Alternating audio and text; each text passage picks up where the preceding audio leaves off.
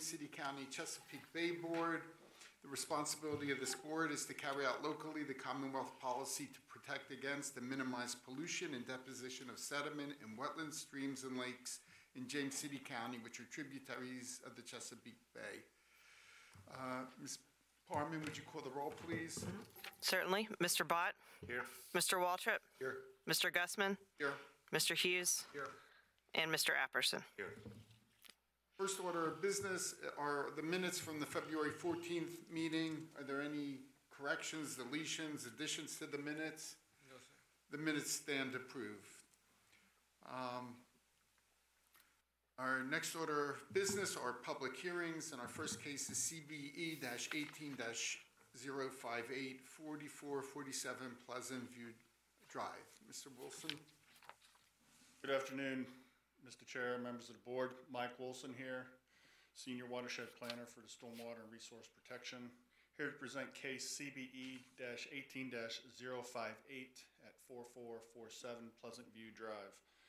Ms. Rini Andrews has applied for a Chesapeake Bay exception for encroachments into the RPA buffer for the construction of memorial patio and wall on property located at forty-four forty-seven Pleasant View Drive within the Powhatan Village subdivision in the Powhatan Creek watershed. Property is further identified as James City County Real Estate Tax Map three seven four one four zero zero zero one one. Parcel was platted in two thousand and two prior to the revisions of the Chesapeake Bay Preservation Ordinance in two thousand and four. Existing condition of the property is a moderately sloped turf area from the rear of the house to the wood line. The area was cleared as part of the overall development plan for Powhatan Village. Near a community walking trail located at the wood line and within the existing turf area, Ms. Andrews wished to install approximate two hundred square foot uh, memorial. The required mitigation for this amount of impervious cover would be one canopy tree and three shrubs. The mitigation plan includes one canopy tree, three understory trees, and one shrub, which does exceed the county requirements. Staff's evaluated the application and, and this exception request and finds that it does meet the conditions outlined in the ordinance. A WQIA was submitted per the uh, sections 2311 and 2314 for the proposed land disturbing activity. The applicant has submitted the required information, and the mitigation proposal again does include one canopy tree, three understory trees, one shrub. Staff's reviewed the application and the request and has determined that the impacts associated with this proposal to be minor. Staff does recommend approval of the exception request with the following conditions incorporated into that approval. That the applicant obtain any other local, federal, state permits as required. That a surety of two hundred and fifty dollars be required in a form acceptable to the county attorney's office to guarantee the mitigation plantings. And that, uh, this exception request shall become null and void if construction is not started uh, by March 14, 2019, and that any written requests for extensions be submitted to our office no later than six weeks prior to that expiration date. Um, The applicant request is to construct a memorial uh, patio and wall within uh, Powhatan Village subdivision at 4447 Pleasant View Drive located here. The aerial photograph uh, shows the existing turf area that I described. Topography shows uh, constant slope from the rear of the house down to the wood line. Um, This slide shows some easements. Storm easement, sanitary easement. There's also a community walking trail at the rear of the property along the wood line.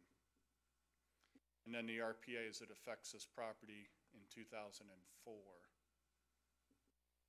From the application, um, proposed memorial is in this location. And then the mitigation plan, one canopy tree, three understory trees and a shrub uh, in this location here. couple site photographs describing the existing slope and from the approximate location of the memorial looking back up. And the permit conditions as uh, recommended by staff, that any other local uh, permits be obtained, local, federal, state, uh, $250 surety to guarantee the mitigation plantings. It's null and void if this project is not started one year from tonight's date, March 14, 2019, and the extension request be submitted no later than six weeks prior to that expiration date. Be happy to answer any questions the board may have regarding this application. Any questions for the staff? Is this, an- is the accessory structure outside of the fifty-foot seaward RPA? No, sir, it's, um, uh, it's gonna be inside the landward, or the seaward fifty-foot RPA. Um, just upslope of the community walking trail, which is approximately this location.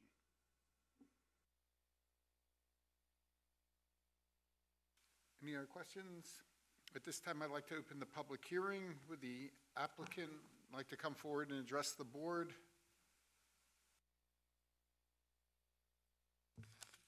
Marini Andrews, and I live at the address we're speaking of, 447 Pleasant View Drive in the villages of Powhatan.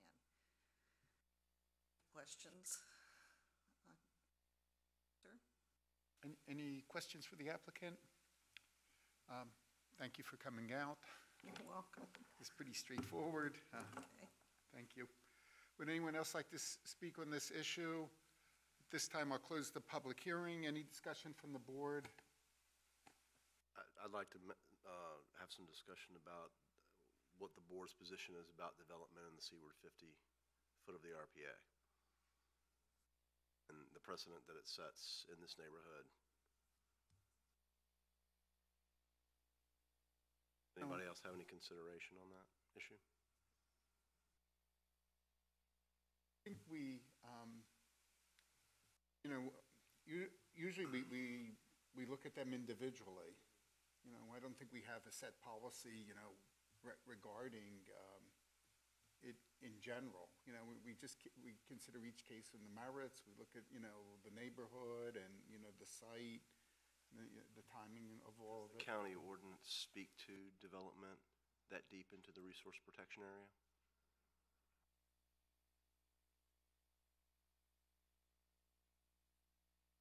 The ordinance just, uh, states that if the impacts are within the seaward fifty, that it must come before the board.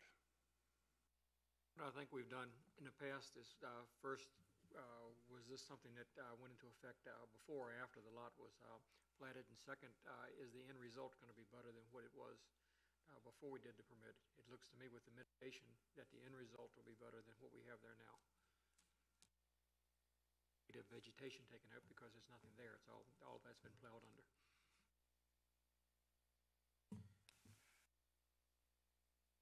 Any other discussion from the board? Would someone like to make a motion? Chairman, I'd like to make a motion, we adopt resolution CBE eighteen 58 447 Pleasant Valley Drive. Okay, we have a motion to adopt a resolution to grant the exception for Chesapeake Bay Board Case CBE eighteen 58 at four four four seven Pleasant View Drive. Um, Ms. Parman, can you, would you call the roll, please? Yes. Mr. Bott? Yes. Mr. Waltrip? Yes. Mr. Gusman? Yes. Mr. Hughes? Yes. And Mr. Apperson? Yes. Okay, motion carries, the exception is granted. Thank you for coming out. Our next case is CBE eighteen 63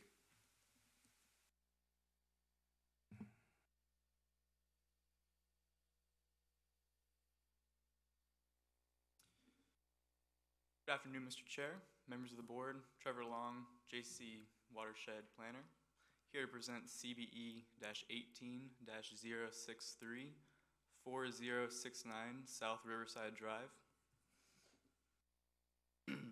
Ms. Carla Havens of Mid-Atlantic Resource Consulting has applied for a Chesapeake Bay exception on behalf of uh, Mr. Vladimir Arana for encroachments into the RPA buffer for the construction of a retaining wall and patio located at 4069 South Riverside Drive within the Chickahominy Haven subdivision and the Chickahominy River watershed.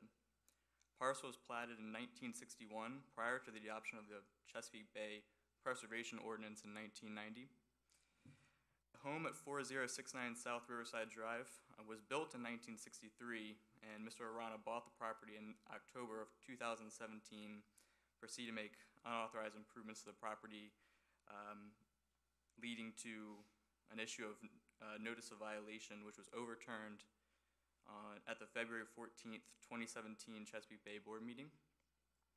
One of the conditions of the appeal is the mitigation rates were to be doubled from standard practice. The required mitigation rate is one planting unit, which is now doubled to two planting units. The mitigation provided by the applicant is two planting units plus the elimination of all turf grass in the rear yard and replanting of switchgrass or another native bunch grass to the removed vegetation. Uh, WQIA was submitted per sections twenty-three eleven and twenty-three fourteen. And, um, staff has reviewed the application and exception request, determining impacts associated with the proposal to be moderate for the proposed development. Staff does recommend approval for this exception request, given the applicant obtain all other necessary federal, state, and local permits as required for the project that a surety of two thousand dollars is re- required in a form acceptable to the county attorney's office to guarantee the mitigation plantings. That all development activities located in the special flood, flood hazard area shall comply with Article Six, Division Three floodplain area regulations of the James City County zoning ordinance and receive all required approvals and permits prior to the commencement of such activities. And that this exception request approval shall become null and void if construction is not begun by March fourteenth, twenty nineteen, with written requests for an extension to the exception shall be submitted to the Stormwater Resource Protection Division no later than six weeks prior to the expiration date. Uh, above the vicinity map, the property outlined in light blue, four zero six nine South Riverside Drive. And an aerial photo of the property and the parcel. Um, here you can see the topography, slight, uh, slight slope towards the rear of the house. And the floodplain map showing, showing the house within the floodplain. Uh, here you can see that uh, the scope of the project would be within the resource protection area as, uh, as is the rest of the existing structure. Above the site plane, Chickahominy River to the north, uh, and the, the patio existing here, and retaining wall here. Proposed mitigation, uh, plantings uh, here, here, and to the left. Pictures standing at the existing uh, boat launch, looking towards the house, the retaining wall here. Closer picture of the retaining wall and slope. Existing bulkhead here. And the patio and walkway pictured here. Again, staff does recommend approval of this, um, of this exception, given that all other necessary lo- local, state, and federal permits are required. A two thousand dollar surety is made acceptable to the county attorney's office. A mitigation plan, um, meeting require, or meeting requirements from granting the appeal, uh, be carried out. Uh, and that this exception is null and void if not started by March fourteenth, twenty nineteen, with written exceptions requested no later than six weeks prior to its expiration. Thank you very much. I'd be happy to answer any questions that you have at this time. Any questions for the staff? Okay. This time I'd like to open the public hearing. Would the applicant like to uh, address the board?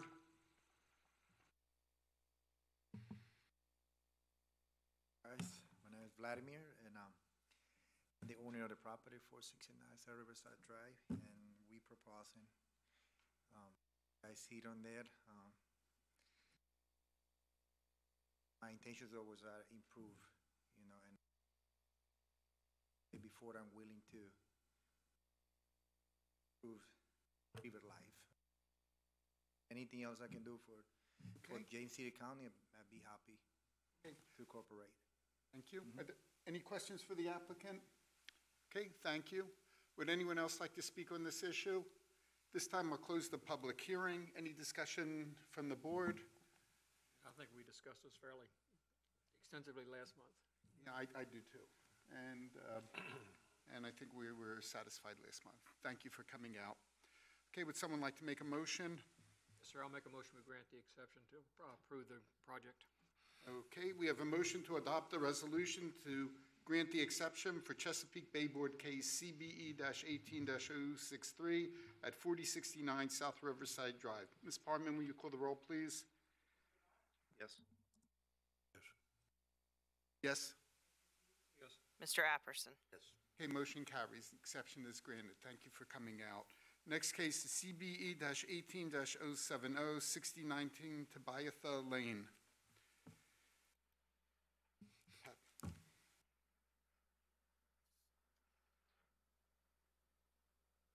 Afternoon, Mr. Chair, members of the board.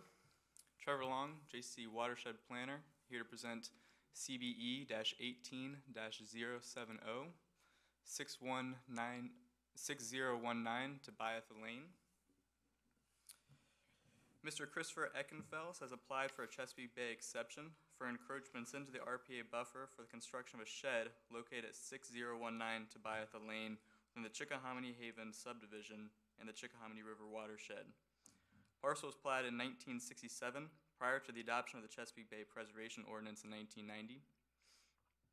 There is an existing shed foundation that measures 16 by 16 feet at the location totaling 256 square feet of impervious cover.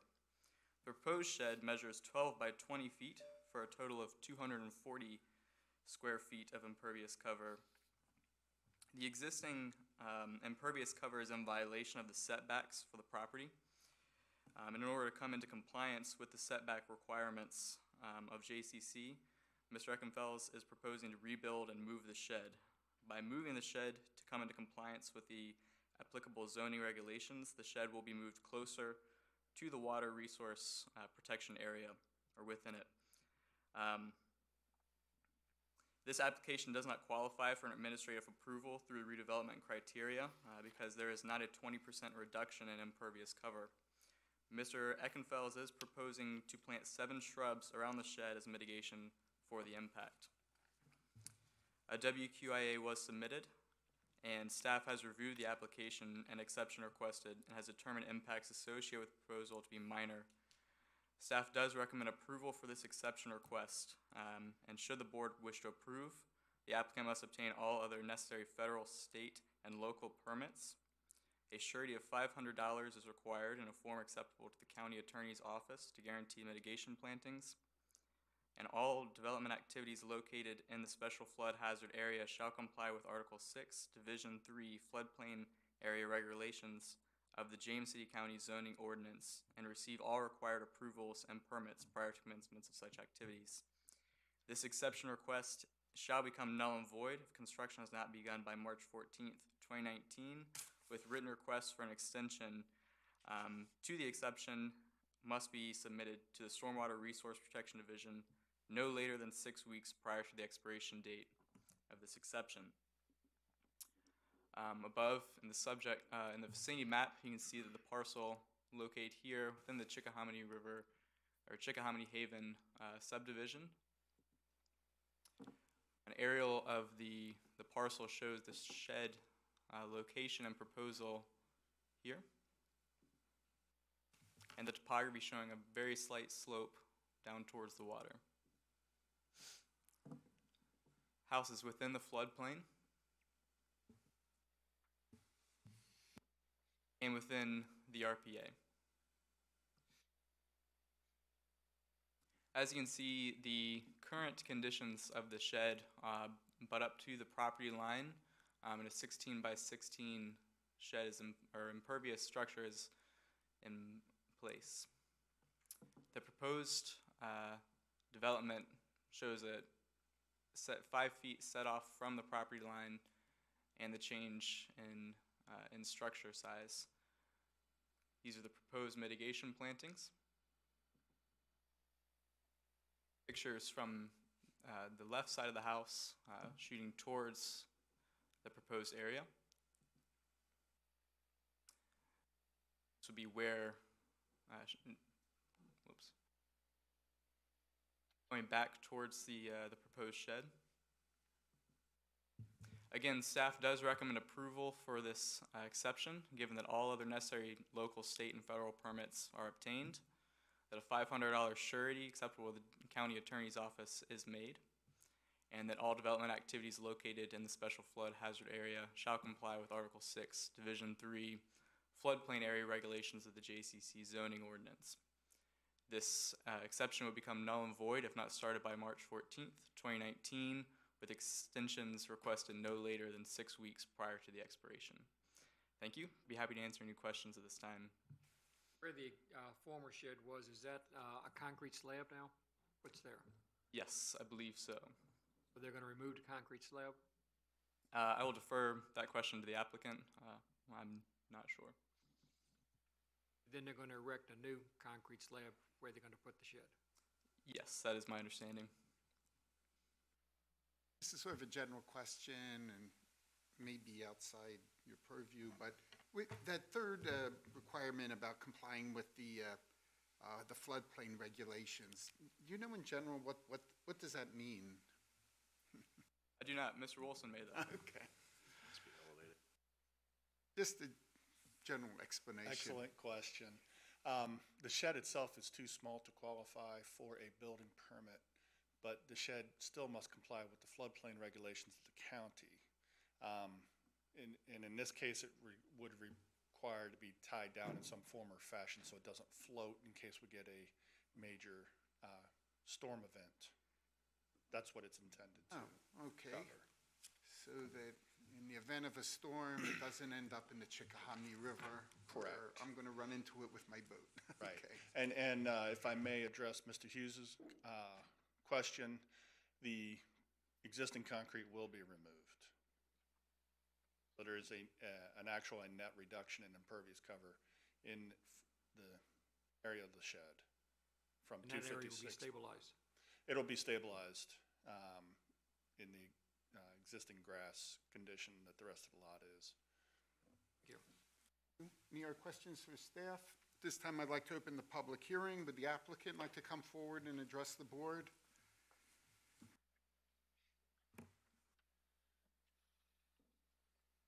Gentlemen, I'm uh, Chris Eckenfels, the homeowner of this uh, parcel. So if you have any questions for me, be happy to answer and oblige. Any questions from Mr. Eckenfeld? Okay, I'd like to say that it's good to see you, sir. You too, Billy. How you doing? We're friends from, from a long time ago, and your father served with distinction from James City County as a paramedic, Proud and I was pleasure to, uh, to know him as a close friend.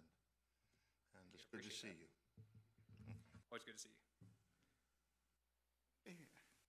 Th- th- thanks for coming out. Uh, Would anyone else like to s- speak on this issue? At this time, I'll close the public hearing. Any discussion from the board? Someone like to make a motion?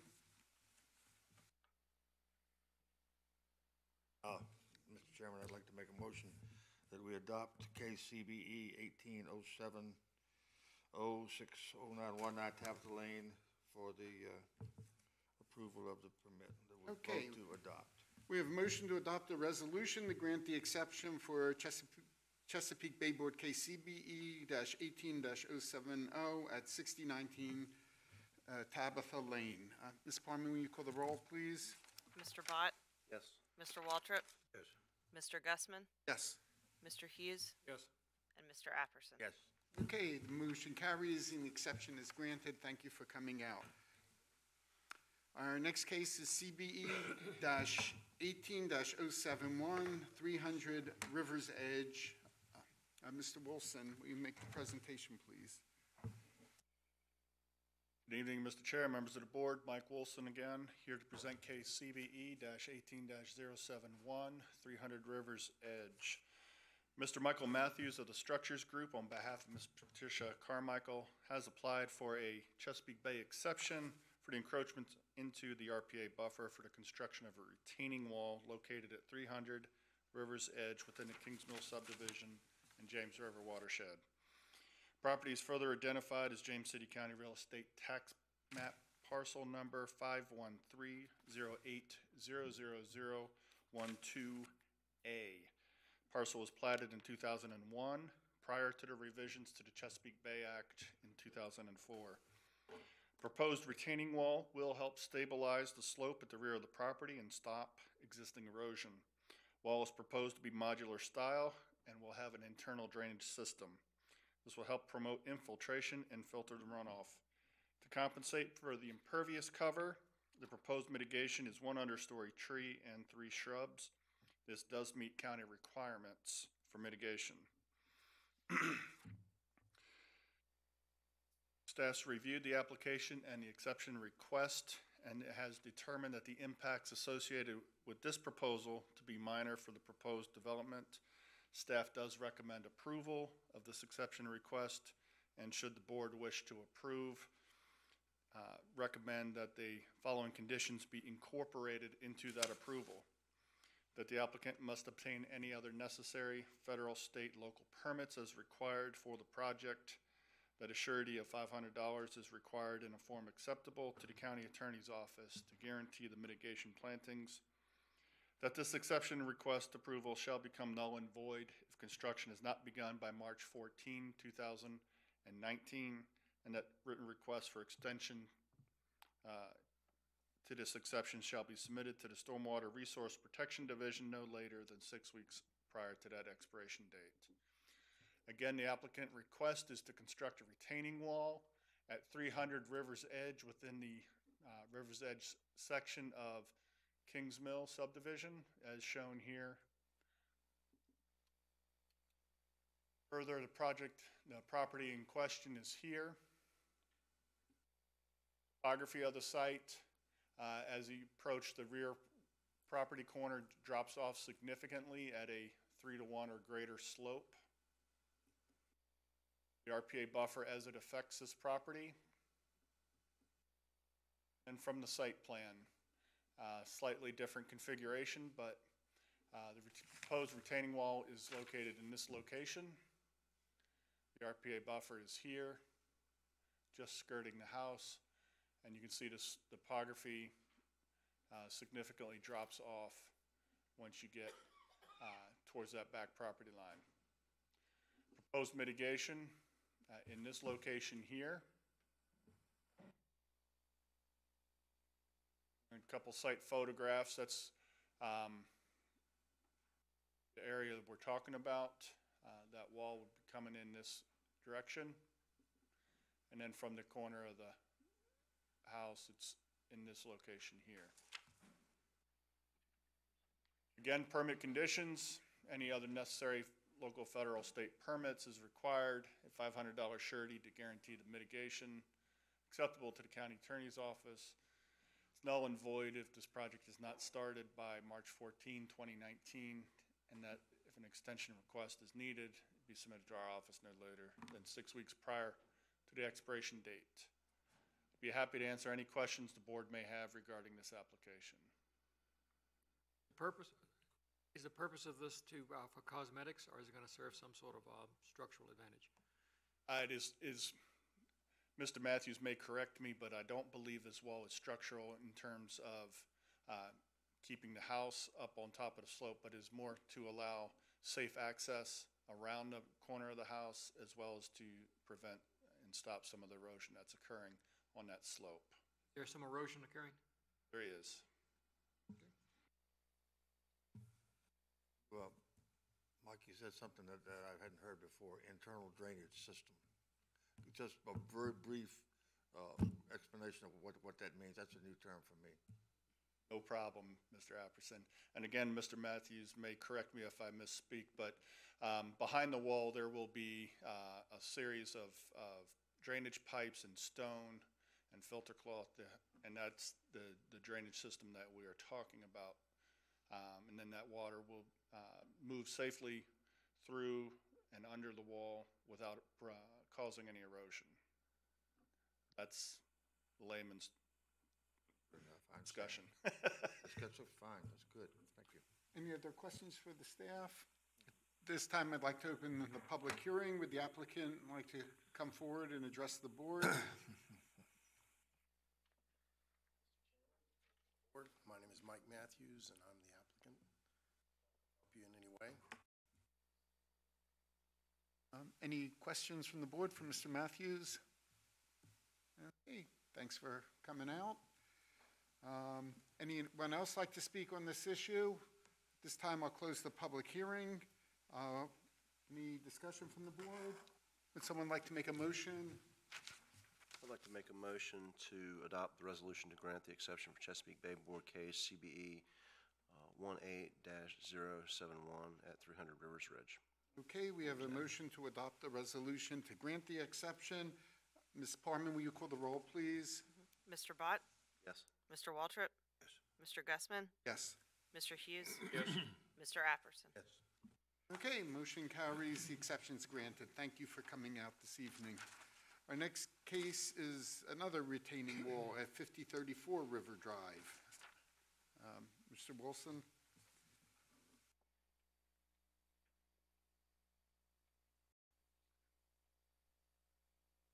Good evening, Mr. Chair. Again, Mike Wilson here to present case CBE 18-068, 5034 River Drive.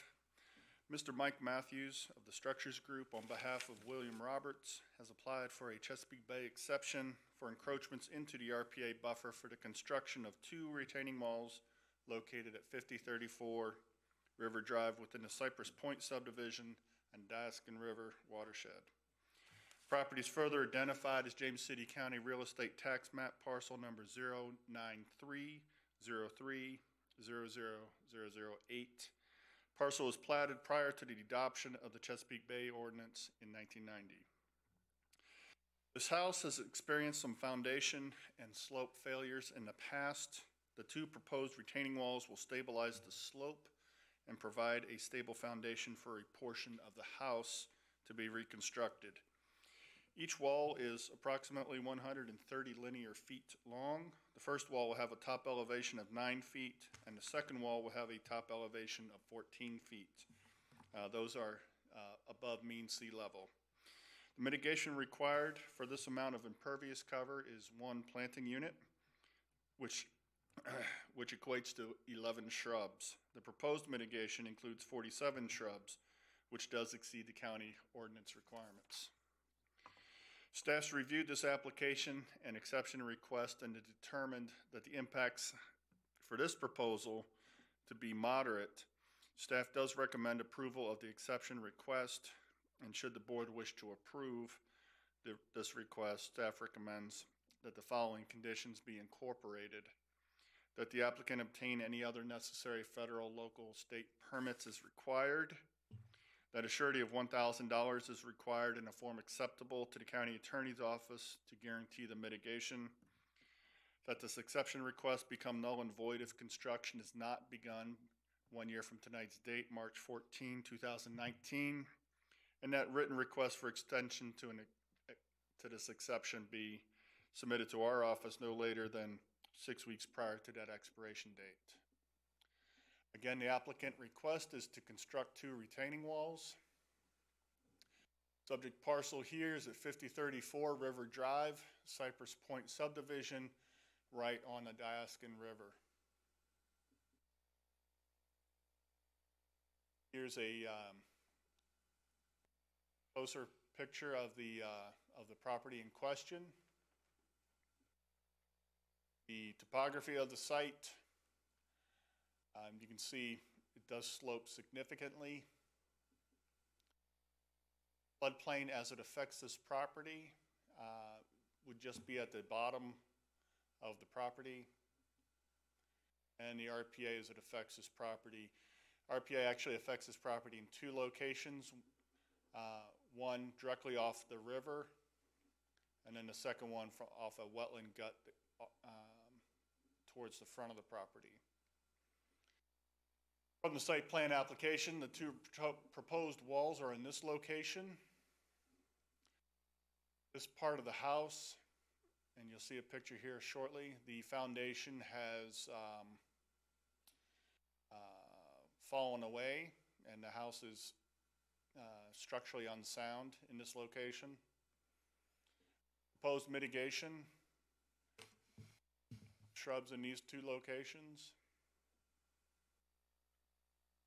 From the site, uh, you can see the significant uh, slope here. Uh, This is that foundation that has failed in this location. The rear yard has uh, slumped, slumped. Uh, There was an existing uh, wall with tiebacks that has failed, allowing this whole slope to slide down, causing this foundation to fail. From the other side of the property, you can see uh, a lot of the exposed foundation here. And then from the bottom of the property, this is actually a, um, a lattice work, um, non-structural, uh, but you can see the exposed foundation here and, and and failures. Some of the permit conditions, if you recommend approval, would be that uh, there are any other necessary local, federal, state permits uh, must be obtained, $1,000 surety to guarantee the mitigation plantings. This exception request would be null and void if not started one year from tonight, March 14, 2019. And an extension request be submitted to our office no later than six weeks prior to that expiration. I'd be happy to answer any questions the board may have regarding Put that this. picture back up, the back of the house. I, um, That one? I, um, well, the, go to the, pi- is, has all that been eroded away? I, m- I mean, that's all exposed foundation has, That foundation is exposed. Um, Mr. Matthews could describe uh, a little more detail, if, if it's necessary, how much of that foundation has become exposed from the, from the slope failure. I don't, I don't believe the entire um, block wall that we see here has been exposed, but I, I would venture a guess at least half of it has been. Was that, where the block wall is, was that an addition or was that a part of the original house? Again, I would let Mr. Matthews um, put his uh, expertise uh, on to that question. I believe the answer is it was an addition that was not done properly. And this property owner didn't have anything to do with that? This property owner did not have anything to do with that. And is this block, the block, this is a new block, this is the block that's been there for a while? It's been there for a while. Um, My, it's proposed to all come out and be rebuilt in the same footprint uh, properly. go once the over uh, retaining two more walls- photos to where it should, like the whole back of the property. Is, is, is that the corner we were looking at on? This on the one, r- yeah, yes. Yes, That's sir. where we're looking at. Okay. Some significant erosion there. Looks like something needs to be done pretty quick. Yeah. I don't think It's- a retaining wall is gonna do it. Need to have some structural. I think, Um, I think the house needs to be taken care of before retaining walls. Yeah, Mr. Matthews could describe that, uh, what's proposed for the house, the main structure of the house as well. Any other questions for the staff? Um, At this time, I'd like to open the public hearing. Would the applicant like to come forward and address the board? Sharon, Board members, Mike Matthews, if I can help you, let me know. Oh, Yes, got a what, what is the sequence of construction for this? There, the rear elevation foundation wall has collapsed, um, exposing the footing, um, as Mr. Walter had asked. It, um, There are going to be helical piles placed under those footing, that footing, the length of the rear elevation. You also asked if that was an addition. That is an addition. This is a new property owner, and uh, that addition was not constructed in a um, code compliance manner. Do you have any idea how much erosion has occurred in the back of the property? Yes, we presented a, a uh, photograph taken in 2000, 1000 of the property. It actually had a um, bulkhead along the shore and riprap and manicured back up to the house. And uh, saw that photo and today, you'd be totally shocked, yeah. It's a lot of erosion and it's more of a, um, uh, it's a global failure of the earth. It's not like a sliding failure down the slope. It's a circular failure. It's actually moved in this manner. And A lot of the earth is down by the dock. You feel that, uh, with your engineering and the way that, uh, to protect that wall from, or that house from falling, that, uh, it, it will do the job to hold it? Yes, Mr. Walter, the um, foundation for the retaining wall is going to be one of concrete and piles. How deep? Piles? Oh, the piles will probably be anywhere from 30 to 40 feet in depth.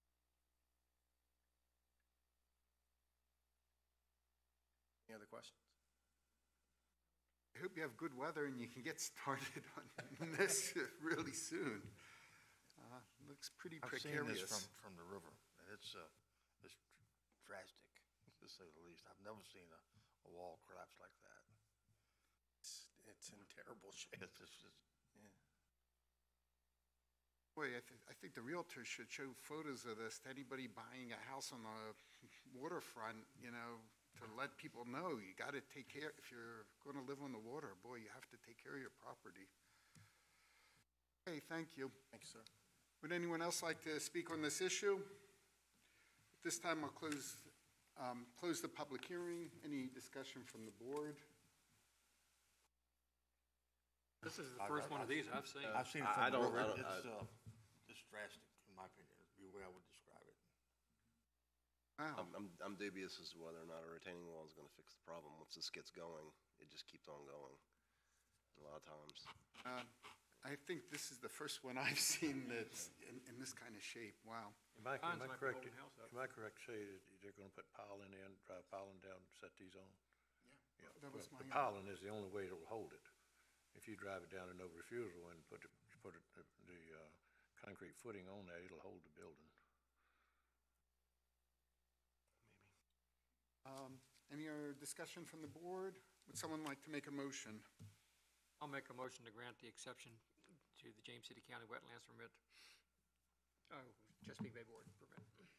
Okay, we have a motion to adopt a resolution to grant the exception for Chesapeake Bay Board case CBE eighteen 68 at fifty thirty-four River Drive. Ms. Parman, will you call the roll, please? Mr. Bott? Yes? Mr. Waltrip? Yes. Mr. Gusman? Yes. Mr. Hughes? Yes. Mr. Apperson? Yes. Okay, motion carries and, Wilson, will you keep us advised with some photographs how this progresses? Certainly. Thank you. this is, this has a lot of lessons for a lot of people, including this board. Um, Okay, the exception is granted. Thank you for coming out. Our next case is CBE eighteen 28 19 and twenty mile course. Mr. Long? Evening, Mr. Chair, members of the board. Trevor Long, uh, JC Watershed Manager, um, Planner, um, here to present CBE eighteen 28 19 and twenty mile course of the Kingsmill subdivision. Mr. Dean Van Arsdale, RVA Construction, has applied for a Chesapeake Bay exception for encroachments into the RPA buffer for the construction of a wooden bulkhead with backfill and shoreline stabilization with coir logs adjacent to Kingsmill Pond located at 19 Mile Course and 20 Mile Course within the Mile Course section of the Kingsmill subdivision and the College Creek watershed. Parcels platted in 1974 prior to the adoption of the Chesapeake Bay Preservation Ordinance in 1990. The home at 20 Mile Course was built in 1982. The home at 19 uh, is currently under construction and it was approved under CBE 16 033 at the October 14th, 2015 Ches Bay Board meeting. Um, there is evidence of past beaver activity on some of the small trees uh, present at the shoreline, um, and there is an old wooden structure landward of the shore at 20 Mile Course, and the decks on 19 Mile Course were previously approved to be reconstructed as part of the, the CBE approval.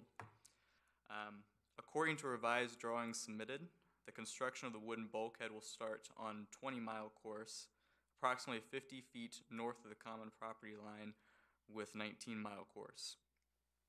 Proceeds in a southerly direction for approximately 302 feet along the shoreline, uh, and the shoreline treatment then changes to coir log stabilization due to a change in water depth and proceeds in an easterly direction for approximately 105 feet. The shoreline treatment changes back to a wooden bulkhead and continues to the uncommon property line with an 18 mile course, approximately 90 feet forward. There are, there are 10 foot proposed return walls at the end of each bulkhead segment, and the wooden bulkhead will be secured with two different methods helical horizontal screw anchors or batter piles uh, when mature trees would be damaged with the helical screw treatment. The applicant is also praising, proposing two planting units of vegetative mitigation. Uh, these include two swamp white oaks and two flowering dogwoods, two eastern redbuds, four spicebush, and two winterberry. Um, this is double the mitigation required um, by, by county, county requirements. And it is also strongly suggested that the applicant plant the coir logs with a combination of wool grass and pickerel weed.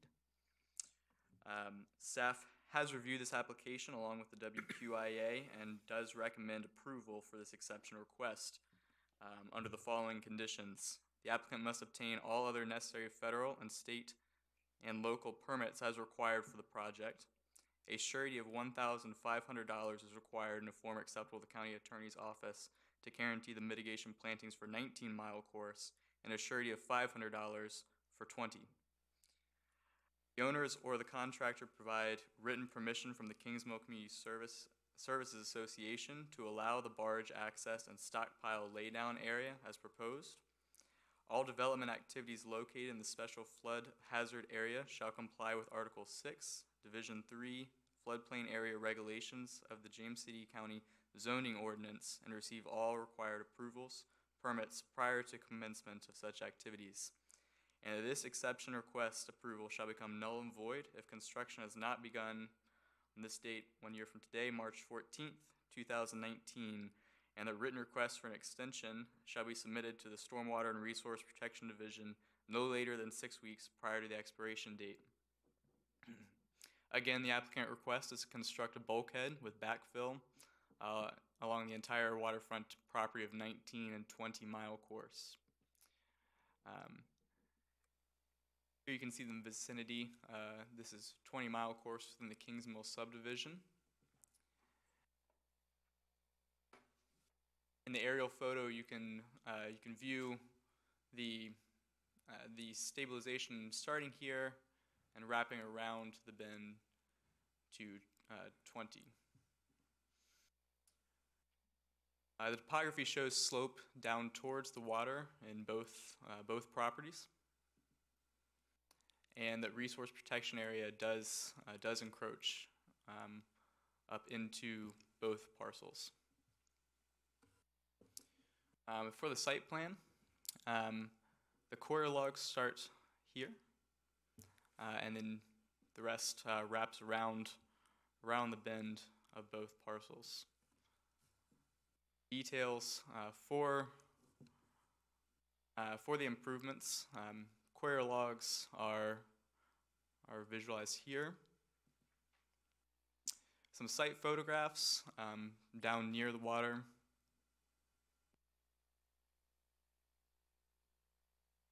Um, showing more of the shoreline, um, some some erosion occurring. And another uh, showing more detailed um, images of the shoreline.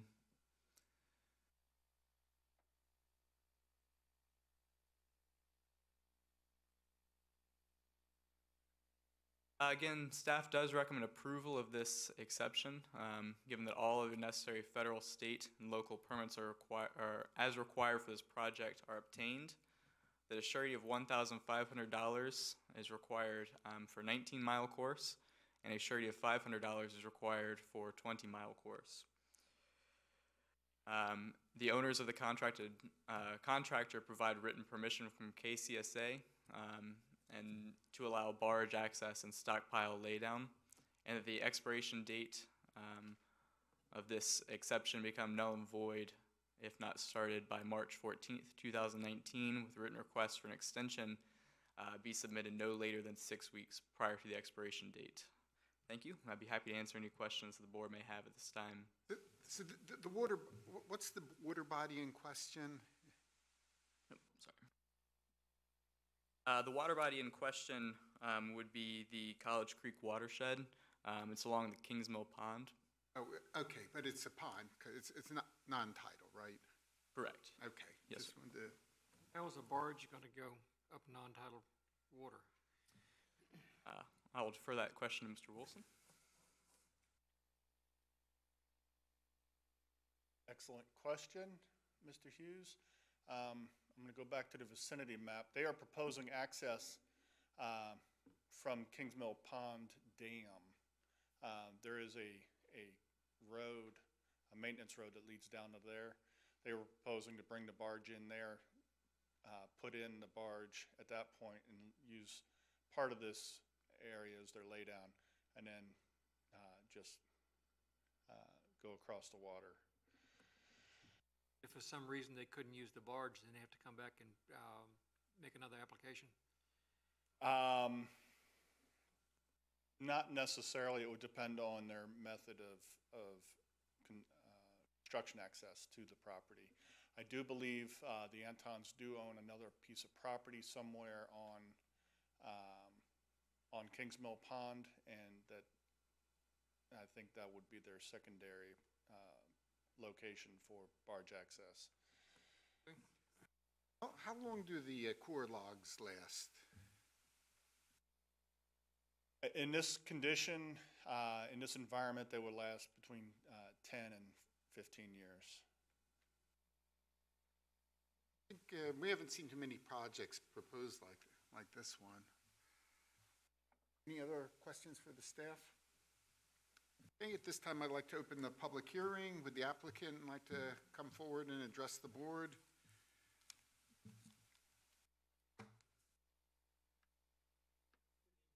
Thank you. Um, My name is Dean Van Arsdale. I'm uh, the owner of RVA Construction. We're the general contractors on this project for the Antons. Um, They couldn't come this evening because they're out of the country. Uh, They're kind of an absentee ownership.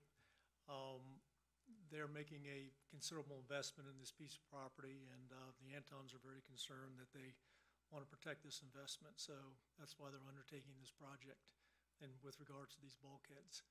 Um, I brought David with me. He is the engineer of record who submitted those drawings that you looked at, so we're here to answer any questions that you may have. Are- Are you having much erosion on the property? There is some that's, that's evidenced. Um, as you could kind of see from one of those earlier pictures, one of those trees had fallen o- was close to falling over from one of those earlier pictures. Um, if you were to go over there right now, there was a, a tree on the other side of the pond that has just fallen in. Um, that's one of the, yeah, that picture, that's one of the main reasons the Ansons want to do this is to maintain that, that forest look and to help screen their property from the surrounding properties across the, the pond. Do the adjacent properties have bulkheads of this nature? There is one, um, this way on that picture that has been previously constructed at one time. The one that's built there now is more projected into the water, uh, a little bit more obtrusive. What we're trying to do is build one right at the water's edge, uh, so it wouldn't project out into the water like that previous project has been done. Any other questions for the applicant? Thank you for coming out. Thank you. Would anyone else like to speak on this issue?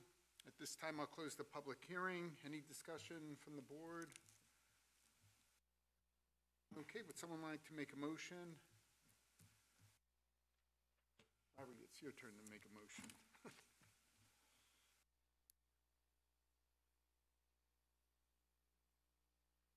All right, I'd like to make a motion of granting a CBE. Okay, we have a motion to adopt a resolution to grant the exception for Chesapeake Bay Board Case CBE eighteen 28 at nineteen and twenty uh, mile course. Um, Ms. Parman, will you call the roll, please? Mr. Bott? Yes. Mr. Waltrip? Yes. Mr. Gusman? Yes. Mr. Hughes? Yes. And Mr. Apperson? Yes, please. Uh, Motion carries and the exception is granted. Thank you for coming out. Uh, Next case, CBE eighteen 64 one thirty-six John Wickham.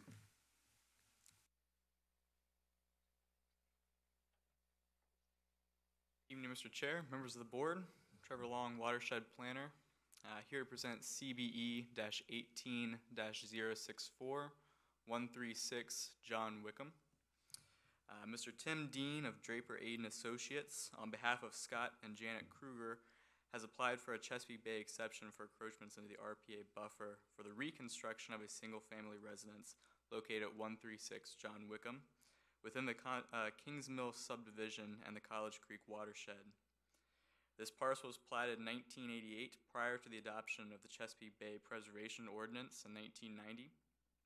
The existing house is proposed to be demolished and a new house built. Uh, the difference between the existing impervious cover and the proposed impervious cover is approximately 1,300 square feet less, or an 8.4% difference. The impervious cover within the RPA is approximately 5,200 square feet under existing conditions. However, the proposed increase, um, proposed, it is proposed to increase to 7,250 square feet. Um, this increase of 2,050 square feet of impervious cover is the determining factor in bringing this case before the board tonight. Um, the mitigation required for the proposed increase within the RPA is five planting units. Um, this, the applicant is proposing 11 understory trees and 27 shrubs, along with a significant pervious paver and underground infiltration area of approximately 4,000 square feet. This infiltration area is located immediately adjacent to the RPA, and the proposed mitigation exceeds county requirements. Uh, we, staff has received a WQIA on this property and um, has reviewed the application and exception request, determining the impacts associated with the proposal are moderate. Staff does recommend approval for this exception request, uh, given that the applicant obtain all other necessary federal, state, and local permits as required, that a surety of $5,000 be made out um, to a form acceptable of the county attorney's office to guarantee the mitigation plantings and pervious paver installation, that the design of the pervious paver installation shall conform to the standards and specifications of the Virginia Department of Environmental Quality Stormwater Design Specification Number 7 Permeable Pavement, the latest edition, and that this exception request um, approval become null and void if construction has not begun by March 14th, 2019, with written requests for an extension um, to be submitted uh, no, no later than six weeks prior to the expiration date.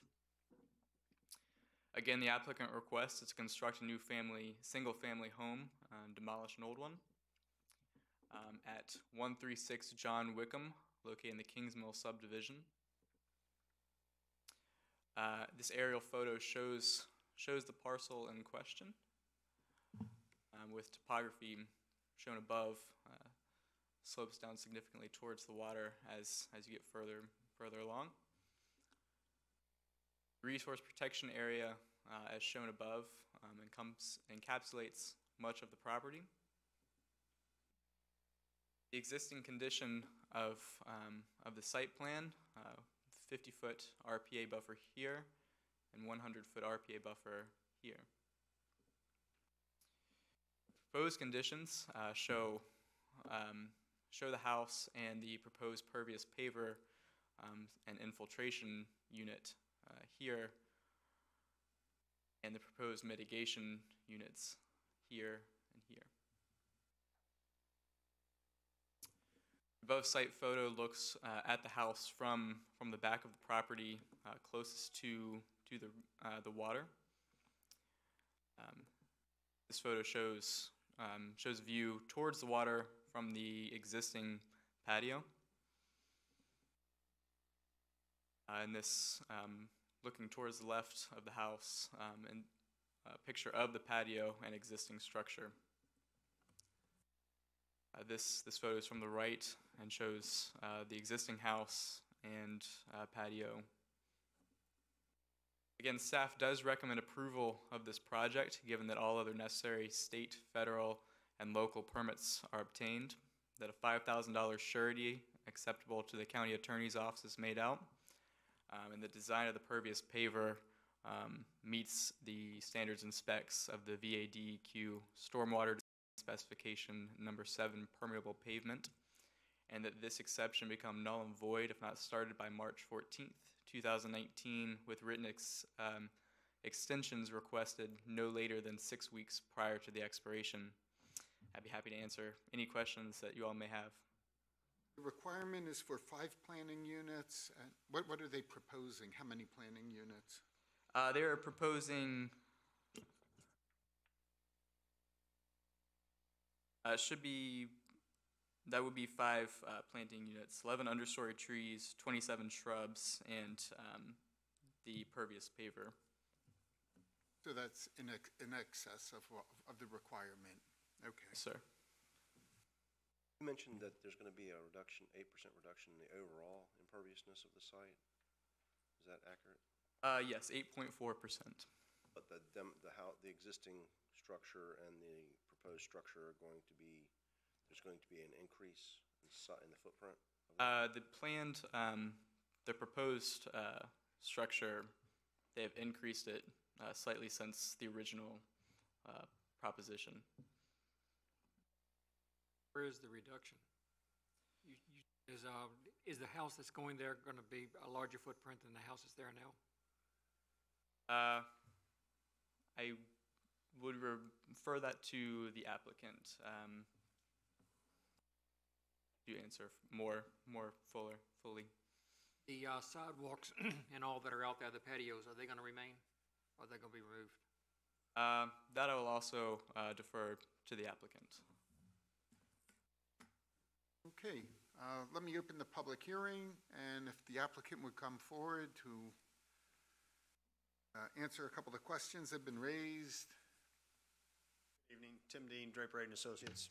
To answer any questions. Uh, Myself and uh, the project architect are here too, so if we have any other building questions, we can certainly answer. Okay, um, can you explain about, you know, what's being reduced and, uh, where, you know, where the reduction in the impervious cover is Sure. coming from? The, the house itself, the current house will be, is smaller than what is proposed. Um, But your question about the sidewalks and other pavement areas and such, those are going to be eliminated and not put back in. Um, The reduction comes in largely with the increase of the uh, pervious pavement in the front of the house, in the parking courtyard and such. So um, the house is bigger, but pavements are going to be less, actually m- more non-existent in the rear, and then the pervious pavement um, offsets it to reduce the overall um, impervious footprint. Thank you. Okay, any other questions for the applicant? Thank you. Would anyone else like to speak on this issue? At this time, I'll close the public hearing. Any discussion from the board? This is an un, little bit unusual Yes. one as Very well, unusual. but, um, seems to meet our requirements. Okay, uh, would someone like to make a motion? I'd like to make a motion to adopt the resolution to grant the exception for Chesapeake Bay Board Case CBE 18-064 at 5034 River Drive. I'm sorry. Okay. Is that the wrong one? It is the wrong one. I'd like to make a motion to adopt the... Sorry, Mr. Bott. It's okay. I'd like to make a motion to adopt the resolution to grant the, ex- the exception for Chesapeake Bay Board Case CBE 18 dash 028 at 19 and 20. Zero, s- Am zero I still on the wrong four. one? We're on John Wickham, correct? Correct. Let me try this again. I'd like to make a motion to adopt the resolution to grant the exception for Chesapeake Bay Board Case CBE 18064.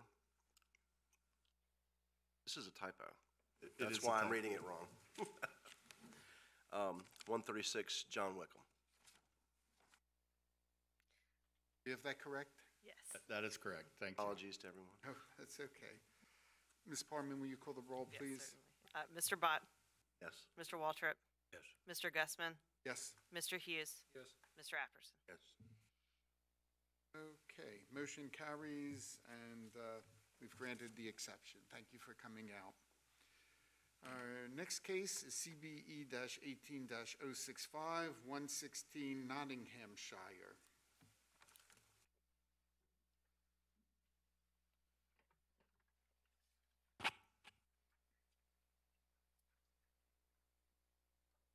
My apologies, Mr. Bott. I Should've caught paid better that attention. typo just as you were starting to read that. Should have paid better attention to it. Uh, Good evening, Mr. Chair, members of the board. Mike Wilson here to present case CBE eighteen 65 116 Nottinghamshire. Mr. Larry Walk of Walkwright Construction on behalf of Joseph and Phyllis Lee has applied for a Chesapeake Bay exception for encroachments into the RPA buffer for construction of a single-family dwelling on property located at one sixteen Nottinghamshire within section twelve of the Fords Colony subdivision and the Powhatan Creek watershed. Property is further identified as James City County Tax Map Parcel Number 323-310-0034. Parcel was platted prior to the readoption of the Chesapeake Bay Preservation Ordinance in 2004. The wetlands were re- redelineated by Mr. Matt Roth in 2016. The lot has RPA buffer and RPA wetlands that cover 90% of the lot. An application for a single-family dwelling was recently approved at the December 2017 Chesapeake Bay Board meeting. This application has slightly more impervious cover within the RPA and the seaward 50-foot RPA. The application now has a side loading garage as opposed to a front loading garage. It has been positioned on the front prop, front building setback line and has room on either side of the structure for drainage swales. The total impervious cover for the lot is four thousand nine hundred and fifty square feet, of which three thousand five hundred square feet is within the landward fifty-foot RPA buffer, and eight hundred and twenty-five square feet is within a seaward fifty-foot buffer. The total amount of impervious cover requires a minimum of nine planting units of mitigation. The mitigation proposal meets these requirements and is acceptable. Some, some of the required mitigation is used as foundation plantings. Staff would request that this property be enrolled in the Turf Love program once the construction is complete. This program does help alleviate problems associated with over-fertilization through the use of soil testing, timing, and rate of application of any fertilizers, and uh, along with proper turf grass selection. Staff also requests that three inches of gravel over filter fabric be installed under the footprint of the deck to help prevent soil erosion.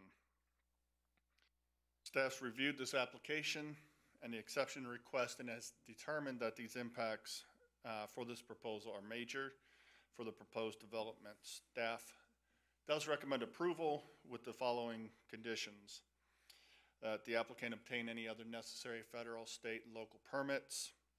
That a surety of three thousand five hundred dollars be required in a form acceptable to the county attorney's office to guarantee the mitigation, including the plantings, the turf love program registration, and the gravel under the deck.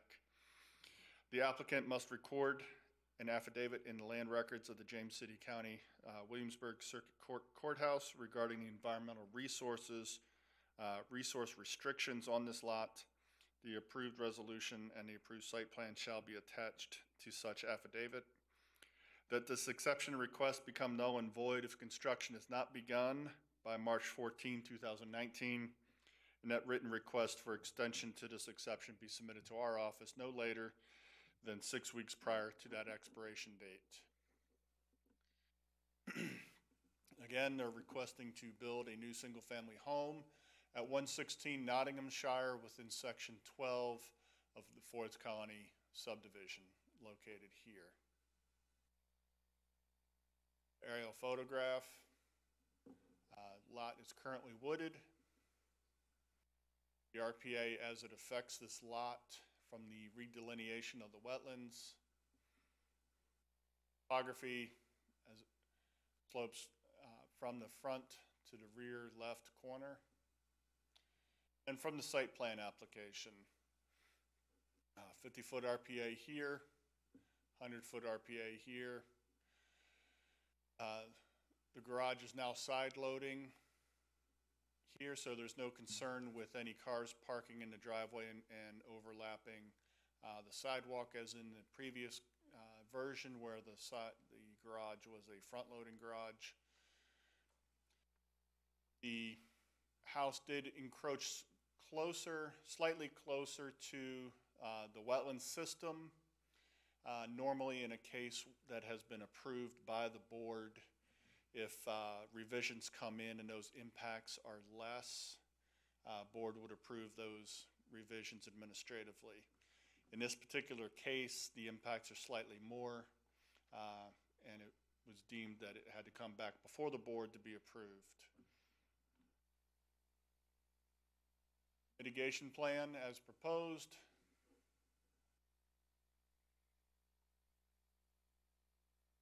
And some site photographs. Uh, from the site, from the bottom of the wetland system, looking up back towards the house. From the neighboring property, looking into the interior of the site. From the approximate middle of the house, looking down towards the wetlands. Uh, looking back up towards the street. And looking uh, at the neighboring property at 120 Nottinghamshire. Again, the permit conditions, any other necessary federal, local, state permits as required, a $3,500 surety acceptable to the county attorney's office. Uh, Recorded affidavit outlining the environmental restrictions on this property at the courthouse, that this is null and void if this project's not started March 14, 2019, and that any extension request be submitted to our office no later than six weeks prior to that expiration date. I'd be happy to answer any questions the board may have regarding this application.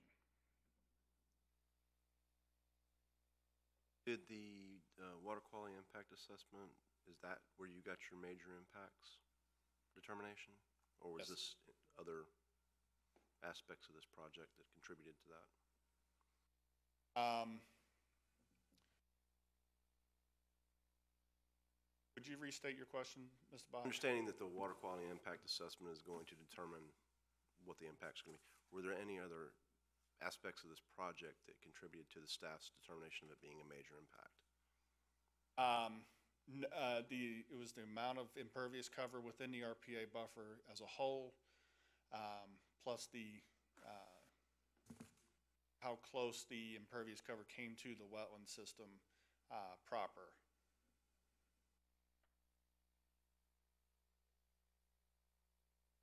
Be happy to answer any other questions. But uh, as I see the mitigation, they're going to go in and uh, get rid of all the um, natural uh, growth that's in there and replace it uh, with new plantings?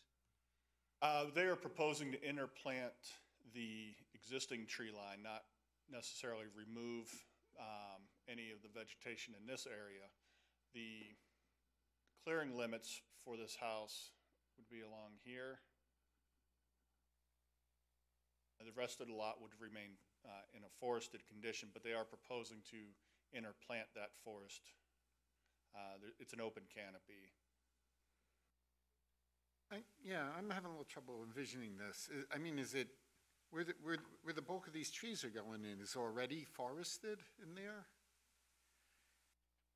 Yes, but when I say forest, I don't mean a heavy canopy. Um, it's a, it's a scrub shrub wetland. Uh, here, there's a lot of light that comes into the, the- to the forest, uh, floor in, in these areas here. Um, the area was previously cleared with this sanitary sewer easement, uh, in, th- that runs in this fashion. Mr. Apperson, the, are the trees gonna grow there? Yeah, what I saw primarily, sir, is pawpaw. As- As you know, it's a sub-canopy tree. Mm-hmm. There's enough light, in my opinion, based on what I see here, to, to you know, push some timber trees through there fair- fairly easily. If not, just clear a ten-foot circle around each tree, you know, just remove the overstory, what little bit there is, give it sunlight for a couple of years, and, and you know, they'll take off. Any other questions for the staff?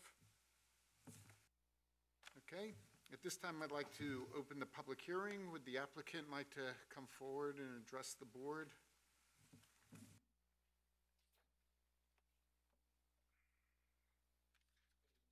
Larry Walk with Walkrite Construction. I'd be happy to answer any questions you have about this project. Any questions for the applicant? Okay, thank you for coming forward. Would any- anyone else like to speak on this issue? This time I'll close the public hearing. Any discussion from the board? We seem to be running into these situations more and more in the Ford's Colony and Kingsmill uh, subdivisions, and we, uh, I'm unfamiliar if we've established any kind of policy that we're going to follow. Uh, Funny you should Uh, mention that. We, we are, We've discussed doing it before, but we never have gotten to that point. well, we, uh, we'll talk about this in a little bit later, but we are going to have a work session next month to, uh, to address this issue. Getting into buildability issues on some of these properties that are occurring that ha- have not been developed just for these reasons. Exactly how I see it as well. And that's, uh, I hope you'll be able to attend the work session um, next month to, to address this, uh, this this question. But right now, we do have a case in front of us that we have to act on tonight. Um, Our comments about it? So, Looked at this one before. this- We We, discussed this, uh, This is last year. last, uh, this is the second time this parcel has come up, uh, before us, correct? Um, a- actually, it's the third time. The first time was in six, uh, twenty sixteen. Um, the board approved that application. It, Uh, it expired and Mr. Walk had it, uh, reapplied for that same exact s- exception in December of twenty seventeen, which the board did approve again. So, second case, third time. Thank you. um, well, Mr. President, please, uh, the, uh, kind of requirement, the affidavit on the property. Uh, I think the, the board, knows that, uh, my vote would be, I, I'm not in favor of those at all. However, uh, in this particular case, some cases, and I don't want to show a, a, uh, division in the board of the fact that personal preferences overrule good wetlands landscape management. I would prefer to vote for this, but I object to the affidavit, which will come up in the, in our work sessions. Okay, and, and what you know, I've been doing some research on that too, and at our meeting, I, I hope I'll address some of your concerns when, when we have our work session. Yes, sir. But, okay, would someone like to make an, a motion concerning this case? I'll make a motion to grant exception, uh, case CBE one dash zero six five, is that the right number? Yeah. Okay, at one sixteen Nottinghamshire. Okay, we have a motion to adopt a resolution to grant the exception for CBE eighteen 65 at one sixteen Nottinghamshire. Ms. Parman, will you call the roll, please? Mr. Bott? No. Mr. Waltrip? Yes. Mr. Gusman? Yes. Mr. Hughes? Yes. Mr. Apperson? Yes. Okay, the motion does carry, uh, and the exception is granted. Thank you for coming out. Our next case is moving down the street, CBE eighteen 67 one twenty Nottinghamshire.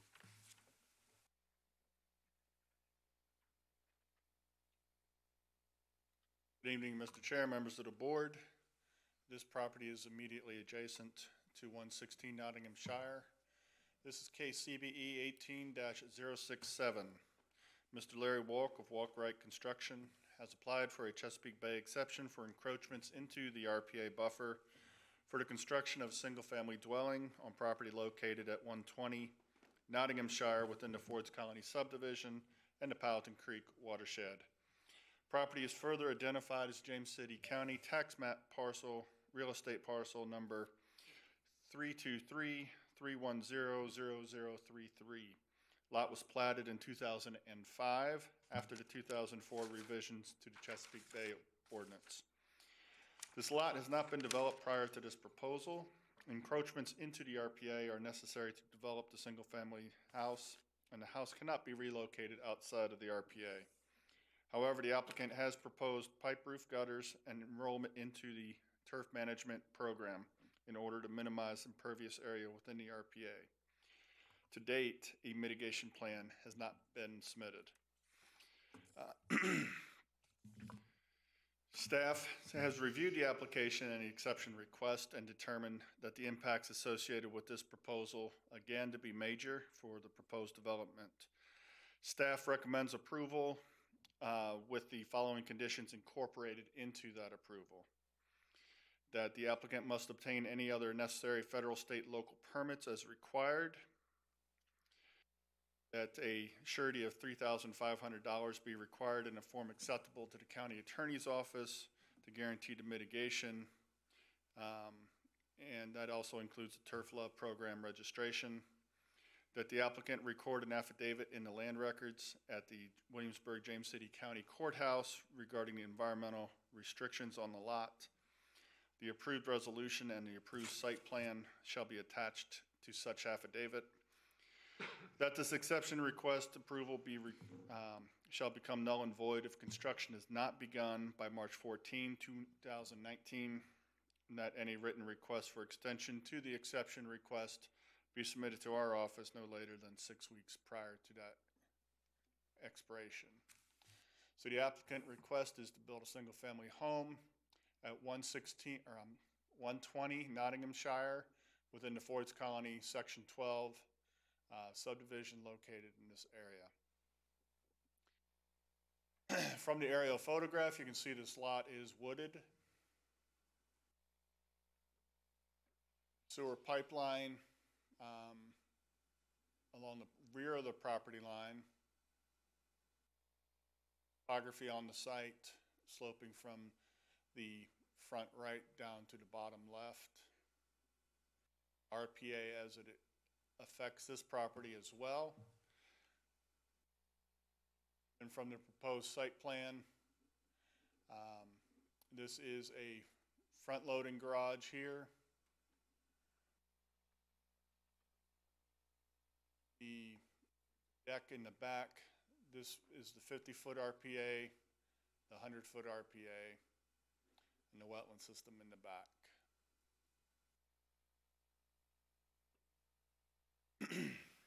The mitigation plan that was submitted um, at a later time. And photo, site photographs shown here from the front of the street, looking into the property, from the neighboring property at 124 Nottinghamshire, looking up uh, across the front of the lot, and then f- from approximate uh, house location looking down into the wetland system. So staff does recommend approval with any other necessary local, state, federal permits as required, that a $3,500 surety be accept, uh, to guarantee the mitigation be acceptable to county attorney's office, that they record an affidavit in the uh, courthouse regarding environmental restrictions on the lot, that this become null and void if not started by March 14, 2019, and that any extension request be submitted to our office no later than six weeks prior to that expiration. Be happy to answer any questions the board may have. How does the, um, the setback with this one compare to the, the adjacent houses? Uh, Can you go back to your diagram where you showed the neighborhood? This one? Yeah, Yeah, uh, where, where's the front of this property going to be? Like, I, I, I just want to see how it compares to the other houses. It's, it's gonna be pretty much in, lined up in a row with the other house. Okay, um, s- so, If we, if we look at the, if I go to this diagram here, that front setback is right here. now that front setback is, that's in the county ordinance? Is That's that- actually a Ford's Colony That's a Ford's Colony or- setback. setback. Uh, and that is a twenty, f- um, I believe it's a twenty foot, it may be a fifteen foot setback, um, off of the right of way. How about in reference to the other houses there? Is it, is it further back than, or about equal to the other houses? It's about equal to the other houses. What you, what you're gonna see here is what you see here and, uh. On what the was- backside too? Mhm. Say that there was not a mitigation plan in place for Um, proposed development? I did say that. Um, Apparently, one was submitted at a later time and the report not revised. My apologies. Mitigation plan reviewed and acceptable to staff? Um, it- Yes.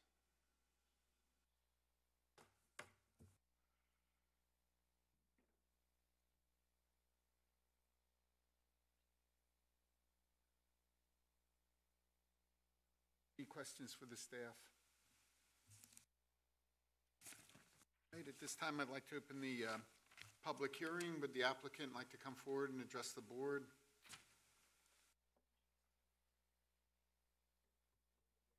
Larry Walk with Walkrite Construction. So just a quick background here. What we've done, we own both of these lots, um, and we've taken the concept of what we were going to build on 116, and we're moving it over to one, the same footprint that you approved back in December. We haven't had this lot up for consideration by you before. You have not. Just the, the same plan, um, same proximity to the street was approved on the other lot, but uh, not for this specific property. Any questions for the applicant? Um, Thank you. Thank you. Would anyone else like to speak on this issue? At this time, I'll close the public hearing. Discussion from the board. I don't particularly care for it. It's Yeah. uh, taking down trees and putting more trees up. I don't see where the mitigation does much. Just Got lots that are worse than this, and we haven't approved them. Uh, Suppose we've had some worse than this and we have approved. But I agree with you there. There's not a lot of good choices here. Any other comments? Would someone like to make a motion? All right, I'll do it. I'd like to make a motion, we approve the exception CBE eighteen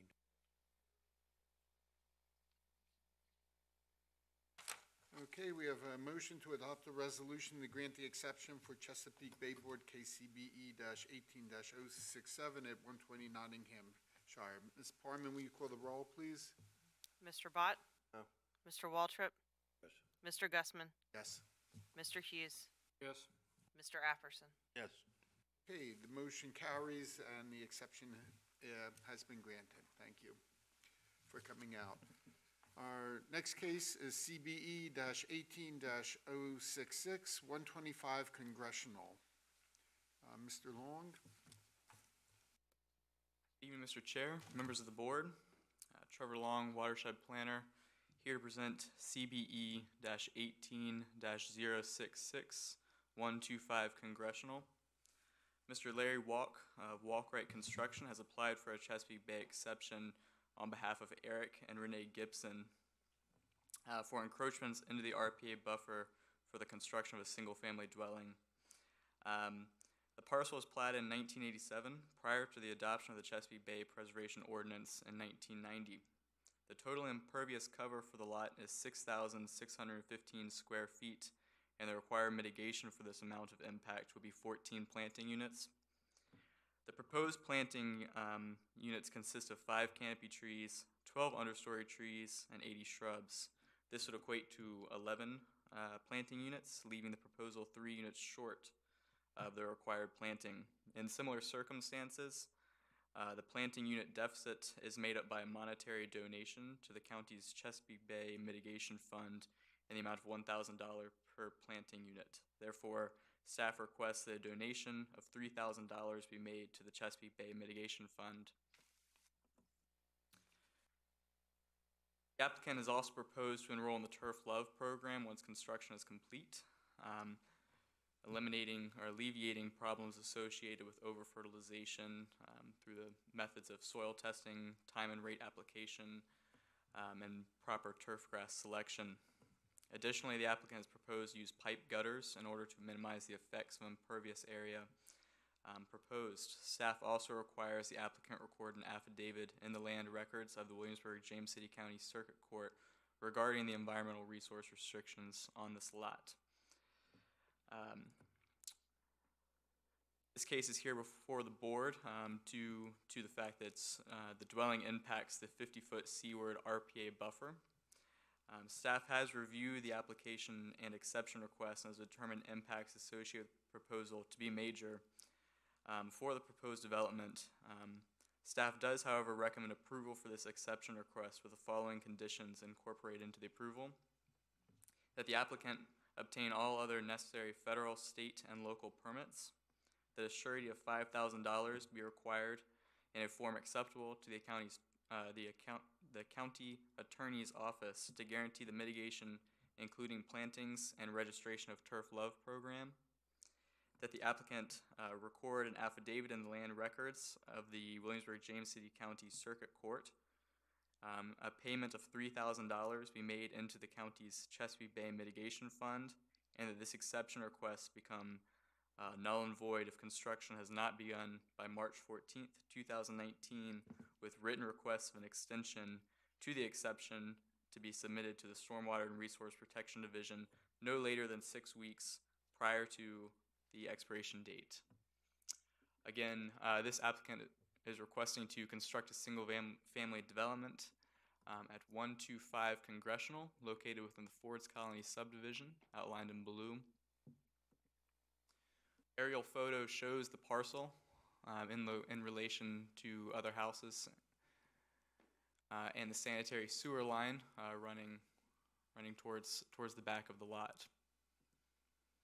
The topography shows um, fairly consistent slope towards, towards the RPA, um, which is um, shown above.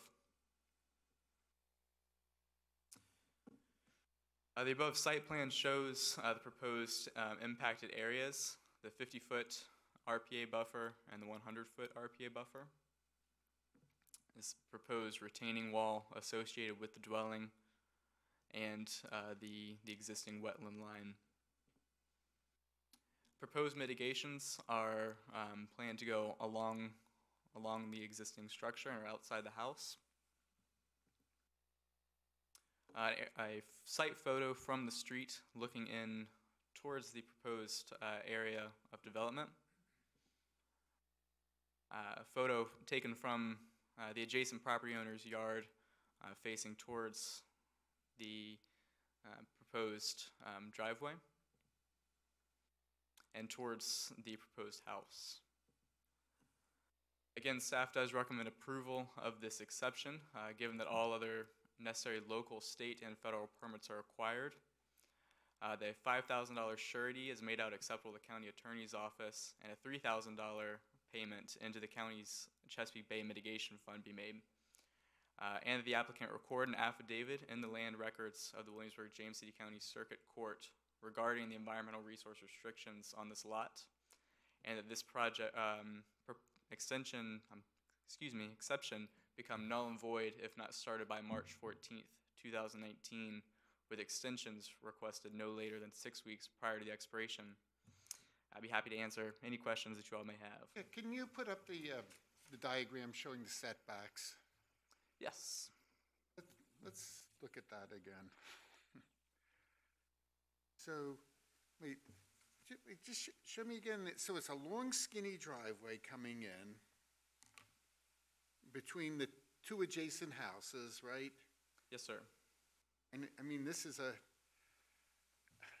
this is a strange-looking lot. The aerial photograph probably gives a better, Absolutely.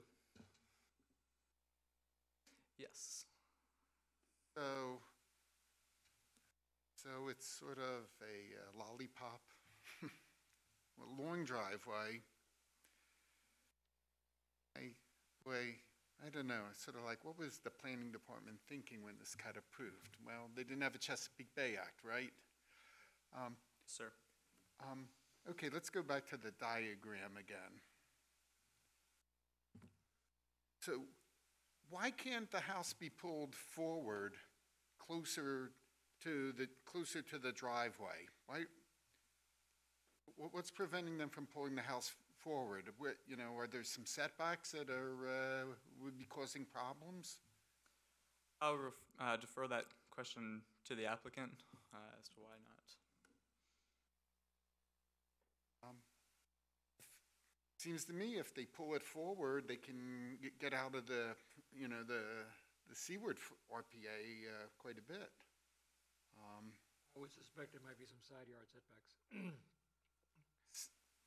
Side yard, Well, the, you're not on the street, the, uh, and the- the applicant can probably explain it a little bit better, but it looks like, uh, you have so far, you can go from the side yard, and so I suspect they've got it as close to the front as they can. Yeah, Wait, it's not, wait, wh- when you say the side yard, wh- which borders are you talking about? uh, the dashed lines, um, shown here are the property line. Uh, so this retaining wall goes directly along, uh, this, uh, this, um, property line, comes around here into the wetlands and down along the side. One second, what, saying, what, did, uh, there's a set, the setback from this? Yes.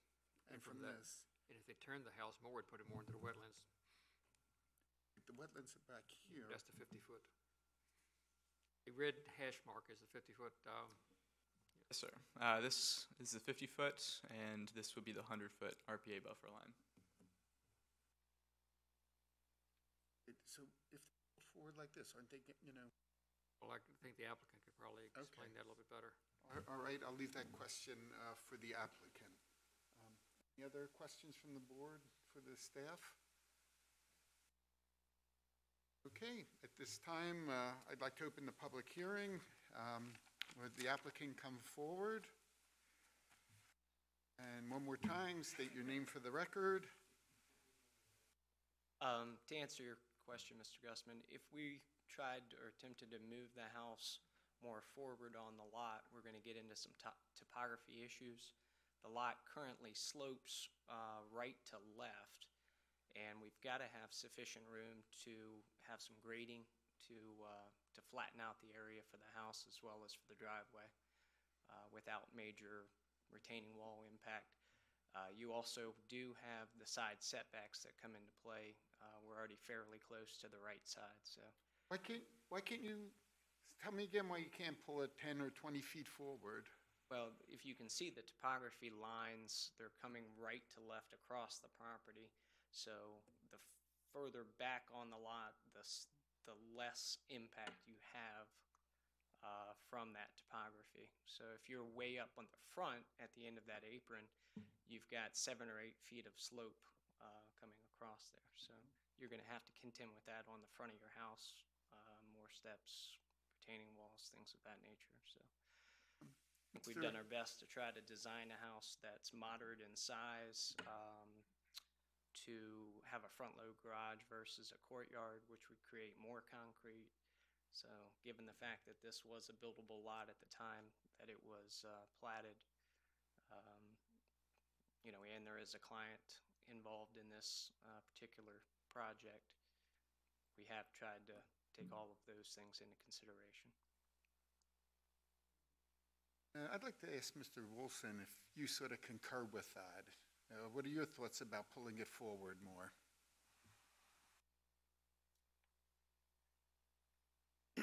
You're going to cause more problems pulling it forward, or, I, I know it's going to be more expensive, but uh, getting it further back from the wetlands? What Mr. Walk uh, stated with, with increased steps and, and retaining walls is true um, uh, by pulling it forward. I would uh, let the board know that construction costs aren't necessarily a determining factor in an, whether an application is approved or not. Certainly, you could, as a board, um, suggest that Mr. Walk uh, look at pulling it forward to lessen the impacts to the 50-foot seaward buffer. In my opinion, by moving it forward, you're not um, necessarily going to be eliminating any, if at all, impacts to the 50-foot buffer because they're just going to be sliding in this manner uh, in the 50-foot buffer. Um, So if, if your goal is to reduce or lessen the impacts to the 50-foot seaward buffer, I don't think moving it forward necessarily accomplishes that due to the loca, due to the uh, nature of the wetland system that surrounds this property. Um, There is, the wetland system also and then it's not shown here, and I apologize, but uh, the wetland system also comes up here on this property. Uh, It, it's off the property in this location, and then comes back up, and it's this bump out or Oh, thumb. the- okay, okay, so that's wetlands That's, also. that's also wetlands, and that's what's causing this fifty-foot RPA buffer to be in this location. Um, So by sliding everything forward, which technically they can do, you're not necessarily reducing any impact, you're just, to the fifty-foot buffer, you're just sliding it, uh, around. Well, what about rotating the house? It's, again, If you, if you rotated the house clockwise, couldn't you get a much bigger chunk of the house with it, you know, out of the, uh, out, Yeah, out by, of the, the by buffer? sliding this corner this way, this part of the house would be over here, so you'd be affecting this part of the landward fifty-foot buffer. Um, That may reduce the impact to the seaward fifty slightly. Um, uh, This is a difficult lot. Uh, It is something we would be discussing at next month's work session. Um, At what point or what percentage of reduction in that seaward 50 uh, buffer, um, what, what sort of reduction in impervious cover would be acceptable? It was staff's opinion that you could slide this lot, this house and the impact around, not really affect, you know, within ten percent of, of what Mr. Walker's proposed. And it was for that reason, um, that an affidavit would be required. Um, because the, the environmental restrictions are so great on this lot. Um, certainly, it's not as great as were he to propose to fill in the wetlands, as we have seen on some applications. But uh, it is, it is a significant impact.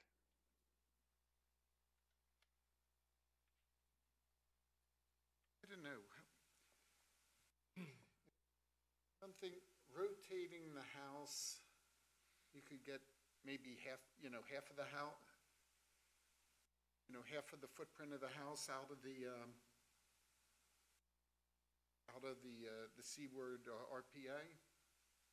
Now you, you have what about, looks like less than a quarter of it. About a quarter of it, I would estimate. How many square feet is?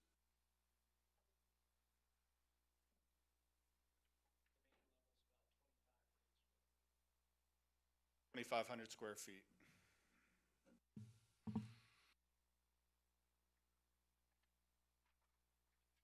Really don't think rotating that's gonna change, uh, look at it, if you rotate it uh, clockwise, uh, you, uh, you've got your, uh, highland that comes in at the point, and so it just pushes us over.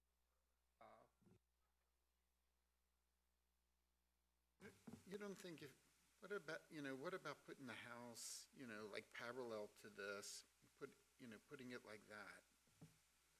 Go back to the picture that showed how this is gonna be oriented around the neighboring houses. That picture? Um, This one does show the wetland line here, uh, Mr. Gusman. That's really impacting this lot. Um, And that line was recently, I'd say within the last six months, uh, delineated by Mr. Roth. But What are the topo lines on this one? Topo line, They're two-foot Foot contour interval, Mr. uh, Waltrip. so you're about six and a half feet elevation of what the building that wants to put it on to the front side. Could- Why, why couldn't you put the house like it, Yeah. i- in here? That, that, that's what I'm wondering, you know, if, the- if the house was located like this, You're already into that topo anyway. So all you're doing is moving it you forward. understand what I'm, reducing the I'm- square I'm footage. suggesting, you know, if they build the house like this, mm-hmm. then only about half of it's in this, you know, the seaward. Also reducing the overall footprint of the house.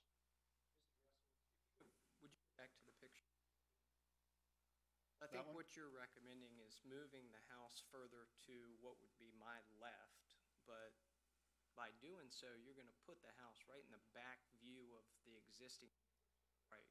Right now, the house, as far as visual impact to the two existing homes, that is one thing to consider while they're back of their pool that they've installed there, they're now looking it's to be rotated. Mm-hmm. And I really think we gain very little by moving the house forward. I mean, you are gonna have a little bit of concrete from the driveway that's taken out. From a cost perspective, that's not the decision. Okay, but, but you'd have, you could maybe locate, ha- have half of the house out of the uh, seaward. I think we probably could move the house forward three or four feet from where it is right now. Still have a driveway we've got to get in and out of and have a turnaround area as well. If we jam this thing all the way up into the front there, they're gonna have to back all the way out of that pipe stem driveway. Well, I can appreciate the concerns, uh, not our concern. Um, Neighbor has to look into the ba- bathroom window, uh, that's unfortunate. Uh, But I also don't think you do, I mean, the more you rotate the house that way, the more it's gonna be in, impacted the other side of the RPA. But you're pulling it out of the seaward RPA.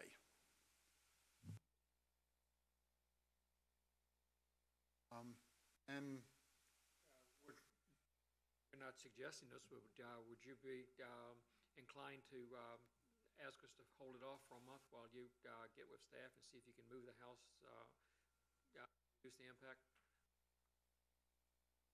What I would like to do is see if you would approve it as it is with us moving it forward about three feet. Okay, well, we can vote on it tonight. All right, thank you. Would anyone else like to speak on this issue? At this time, I'll close the public hearing and have discussion from the board. Well, let me start off. I'm, I'm having problems with this one, and I'm not sure they've, they, they've minimized the impacts. I, I think you could do, a maybe a smaller house with a smaller footprint, and I, I, I still don't understand why it can't be pulled, pulled I think, more I out of think the. we should defer this. Oh, he doesn't want it deferred. He wants us to vote on it. He would have to, Well, can we, we have the option to defer? uh, Do we have the option to defer? it has to be requested by the applicant, is my understanding.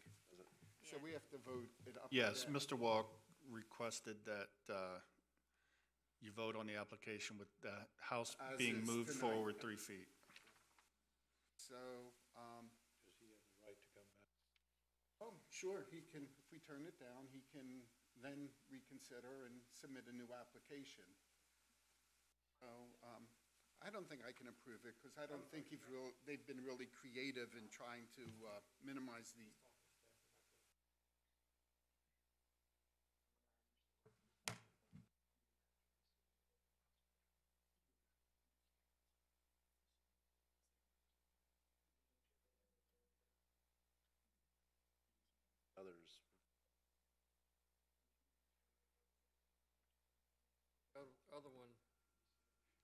Front, the setback was from the street. so sure. They got it when It- it's close to the This is a weird so- orientation. This is such a strange orientation. If the board decides to vote against this application, this application could not be submitted for another year. It would have to be modified in some form or fashion in order to be uh, heard again by the board. So, all right. That, Right. Is that clear? Meaning that, you know, if, if it was voted down and they could come back with a different plan, and w- they just can't bring the exact same They plan. can't bring the same plan The back. same plan back for a year, but they could reorient it or come back with a different plan. Okay. That's correct.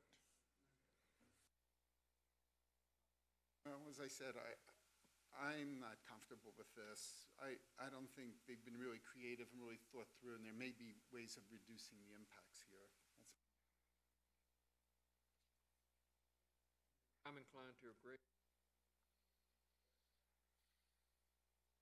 back to, I'd like to say that I would, I think that this is just such, such, uh, my in- inclination would be a smaller structure. I can understand the engineering problems and the topographic problems that they have.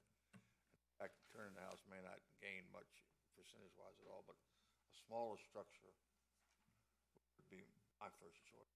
reorient a would- smaller structure. Beg your pardon? Reorient a smaller structure. Smaller structure, yeah. Smaller footprint, be a bigger structure. Exactly, yeah. Well, yeah, exactly.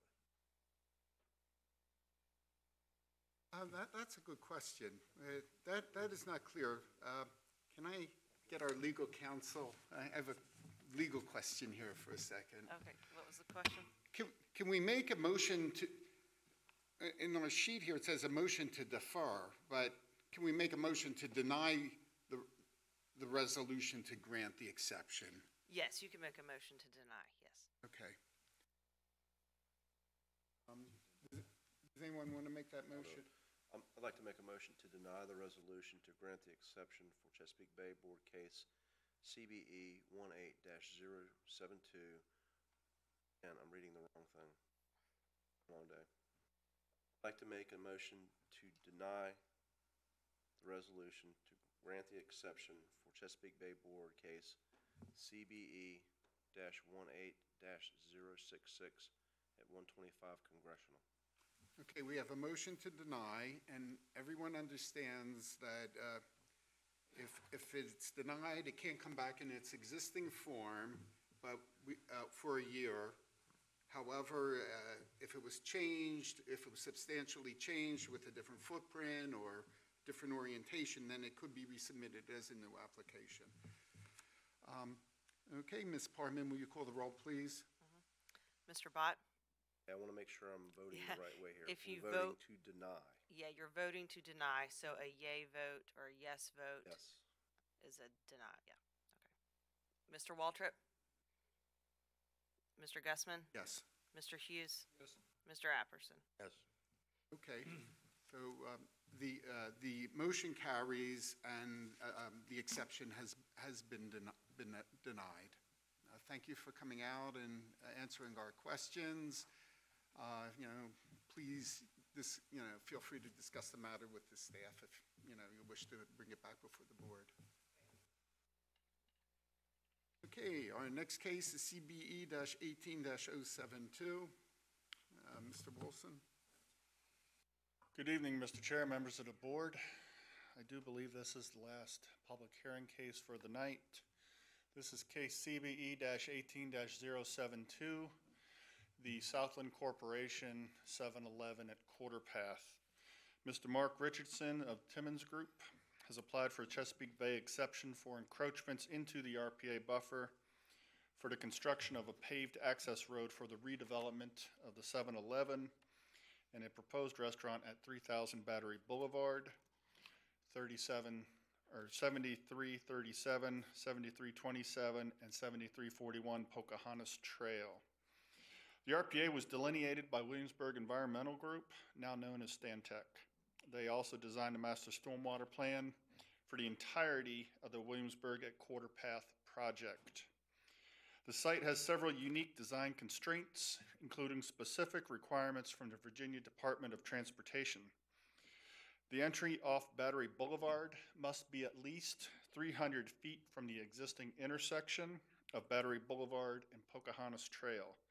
This put the, this puts the entrance drive from Battery Boulevard immediately adjacent to the RPA. The entrance drive curves in towards the project site to run parallel to the RPA to the greatest extent practicable. There are approximately 2,400 square feet of impervious cover impacts to the RPA from the drive. The total disturbance to the RPA is 9,750 square feet due to grading the fill slope uh, adjacent to the entrance road and a combined stormwater outfall between the 7-Eleven and the adjacent parcel, which is a proposed restaurant. Proposed mitigation for these impacts are to replant the disturbed fill slope with 19 planting units and provide the county a natural open space easement of 1,700 square feet. Typical mitigation for a project such as this is to replant the areas that can be restored and to provide a county natural open space easement equal to twice the disturbed RPA area. Should the board wish to approve this request, staff does recommend that the remaining undisturbed RPA also be placed into a natural open space easement. Staff's reviewed the application and the exception request and has determined that the impacts associated with this proposal to be moderate for the proposed development. Staff recommends approval of this exception request, and should the board wish to approve the uh, exception, the staff recommends the following conditions be incorporated into that approval. That the applicant obtain any other necessary local, federal, and state permits as required. That the natural open space easement shall also include the undisturbed, remaining undisturbed RPA. That a surety of five thousand dollars is required to, in a form acceptable to the county attorney's office to guarantee the mitigation plantings and the natural open space easement recordation. That this exception request approval become null and void should construction not begin by March 14, 2019, and that a written request for an extension to this exception be uh, submitted to our office no later than six weeks prior to that expiration date. Again, the applicant request is to construct a paved access drive uh, to access the property. The four properties mentioned are located in this area. They are part of the quarter path at Williamsburg uh, planned development. Majority of that is in the city of Williamsburg. Um, And for those that are unfamiliar with it, this is Pocahontas Trail. Battery Boulevard comes in here.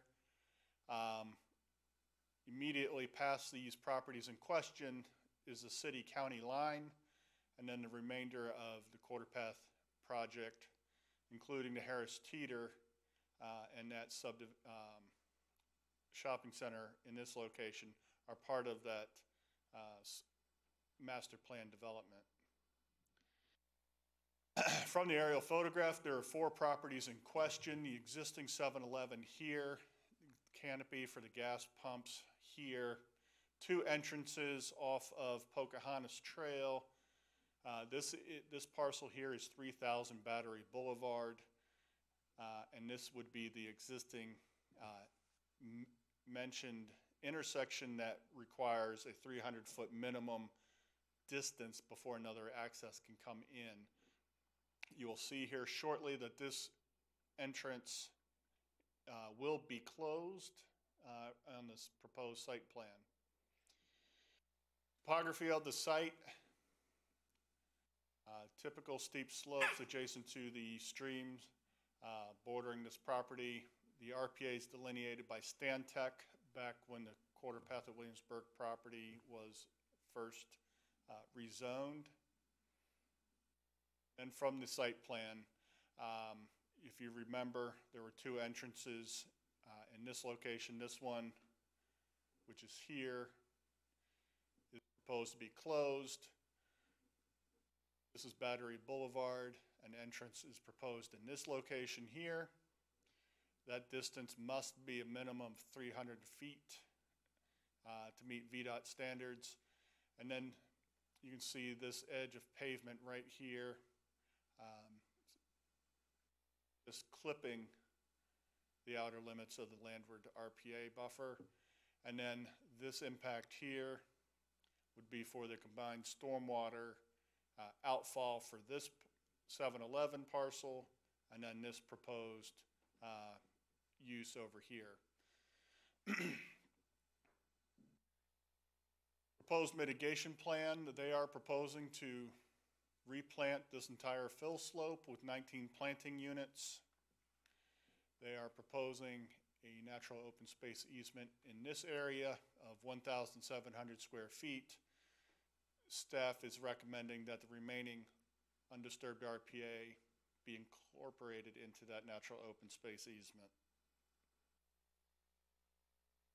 Some site photographs uh, the existing 7-Eleven. All of this would be torn out and, and, and moved and rebuilt.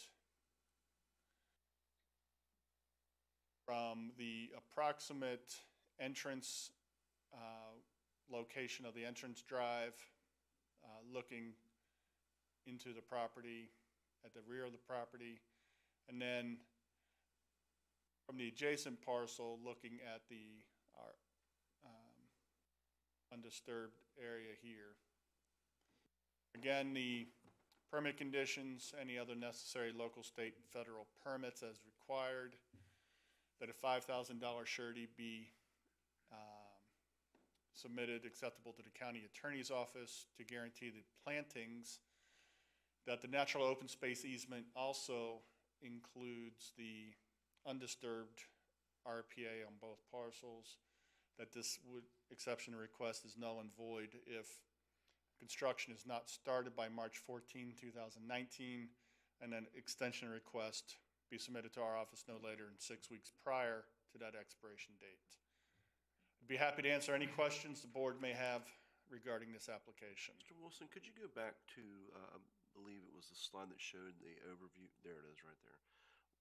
What's the purpose of this, this linear encroachment that extends in kind of in the, in the middle of everything? This one? Yeah, That is a stormwater outfall.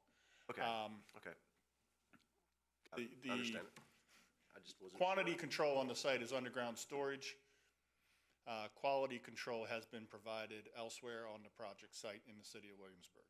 Let me ask a question. Uh, looking at Po- Pocahontas Trail coming, going east, going east, Mhm. why, why is the flow of traffic to this restaurant, you say it's gonna be a restaurant? Uh, I believe it is. Why is the traffic area, people coming towards Busch Gardens would turn into the restaurant going in. They've got the traffic coming out of there, coming down and either turning into the 7-Eleven and going into it or coming in on the Battery uh, Boulevard to get around to it. Does that make sense? I would let uh, Mr. Richardson describe the traffic patterns more, Yeah, but just- my understanding of the project, Mr. Waltrip, was that this entrance could only be an exit. It it could not be an entrance in, it could only be a right exit out. Everybody must come in through this entrance, and then if they were to go to the restaurant, have to go this way, uh, once they entered into the project. This is probably a really stupid comment, question, but you don't want to have pervious pavers if it's a gas station, right? Okay, because any spill would just go right into the ground. You're correct. Okay, it's got to be paved, all right. Yeah, especially if they're storing and treating on site. Yeah. Is there anything to capture, well, if there's a spill, did- is there any way to capture, capture that, or does that, It is considered a hotspot. Um, I don't know the exact details of this site plan. I don't know if they've been, um, submitted or approved at this time. But typically, there would be an oil gas, uh, separator in the storm system. okay, Uh, And they construct these things as, as a sump system. okay, Everything from the pumps. okay. Uh, have you discussed with the applicant the, uh, natural space, the RPA, um, being placed into a natural space? Uh, Natural space Mr. Richardson and. I did have a discussion, um, I, about what I was, uh, thinking. We never had a concrete, um, resolution as to whether his client would be acceptable, uh, to that or not. Okay, any other questions for the staff? This time I'll open the public hearing. Uh, Mr. Richardson, would you like to address the board?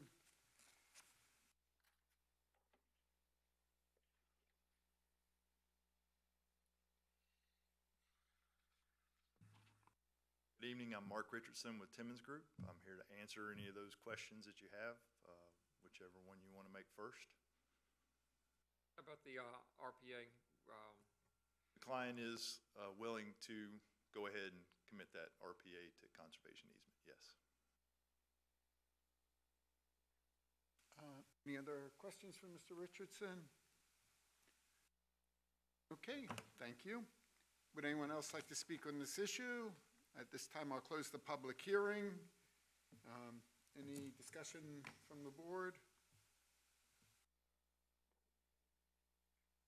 I mean, it's sort of driven by, you know, the VDOT requirements. uh, They need access to the, to the business. Okay, would someone like to make a motion? I'll make a motion um, to grant the exception CBE eighteen 72 to include staff's recommendation uh, to incorporate the RPA into um, the easement. Okay, we have a motion to adopt a resolution to grant the exception for CBE eighteen 72 uh, Quarterpath at three thousand Battery Boulevard, and seven three two seven and seven three four one Pocahontas Trail. Uh, Ms. Parman, would you call the roll, please? Mr. Bott? Yes. Mr. Waltrip? Mr. Gusman? Yes. Mr. Hughes? Yes. Mr. Apperson? Yes. Okay, motion carries and the exception is granted. Thank you for coming out. Um, We have, that, that concludes our public hearings. We have one matter on the agenda for board consideration, CBE seventeen 48 75150 Oak Cove Road. Good evening, Mr. Chair. Um, Ms. Jennifer Privet, on behalf of her mother, Ms. Patricia Overman, is requesting a one-year extension to the case CBE seventeen 48 originally granted March 8, two thousand seventeen. She's been unable to proceed on her room addition at the speed she initially intended due to factors outside of her control. Staff concur, staff concurs with this request with the stipulation that all permit conditions, except for the expiration date, be reauthorized and the new expiration date be March 14, 2019. I do want to add um, that staff did administratively grant her an extension from March 8th to this meeting uh, to get her through that gap in coverage. I, I certainly don't have any problems, you know, if, you you know, doing that. Okay, um, we approved it once before, um, um, and we're just granting an extension. Any discussion among the board? Would someone like to make a motion? To make a motion to grant the extension for Chesapeake Bay Board case CBE dash one seven dash zero four eight at seventy-five fifteen Oak Grove Cove Okay, Road. we have a motion to uh, grant the extension. Uh, Ms. Parman, will you call the roll, please? Mr. Bott? Mr. Waltrip? Yes. Mr. Gusman? Yes. Mr. Hughes? Mr. Apperson? Yes. Okay, motion carries and the extension is granted. We have no matters of, s- I've got one. oh, okay. Uh, I'd like to bring up something that uh, maybe the board is not aware of, and maybe uh, people in James City County is not aware of. That pertains to Powhatan Creek. Uh, I've noticed, uh, as I boat out through that area there, there is a dangerous, very dangerous area out there before you get to the causeway that goes underneath Jamestown Island. I noticed that the buoys and markers have been changed and pulled out of there uh, two markers specifically, a red one and a green one, that makes the turn that goes under the bridge to Jamestown Island is not there anymore.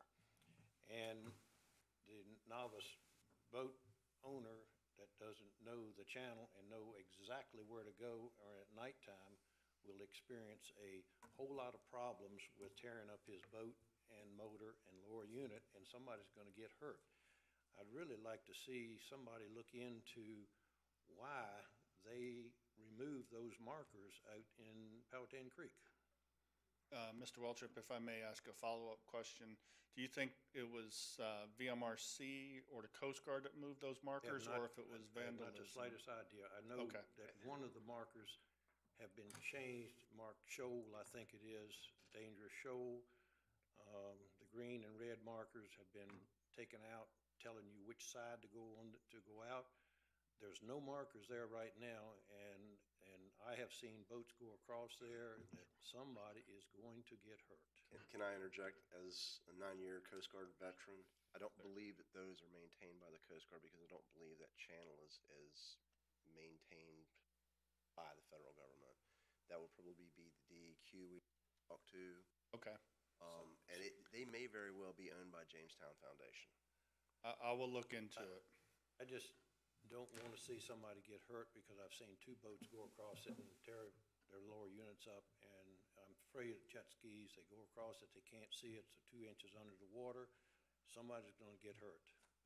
I know exactly the area you're talking about, Mr. I Mr. do Waltrip. too. I've run the ground there, even with the markers. I'd just like to see something happen to correct that situation, Yes, sir.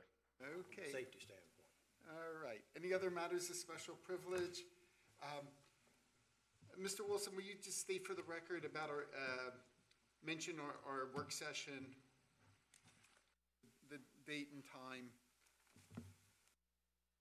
We are planning on having a work session April 11th at 3:30 uh, in the Building D Conference Room.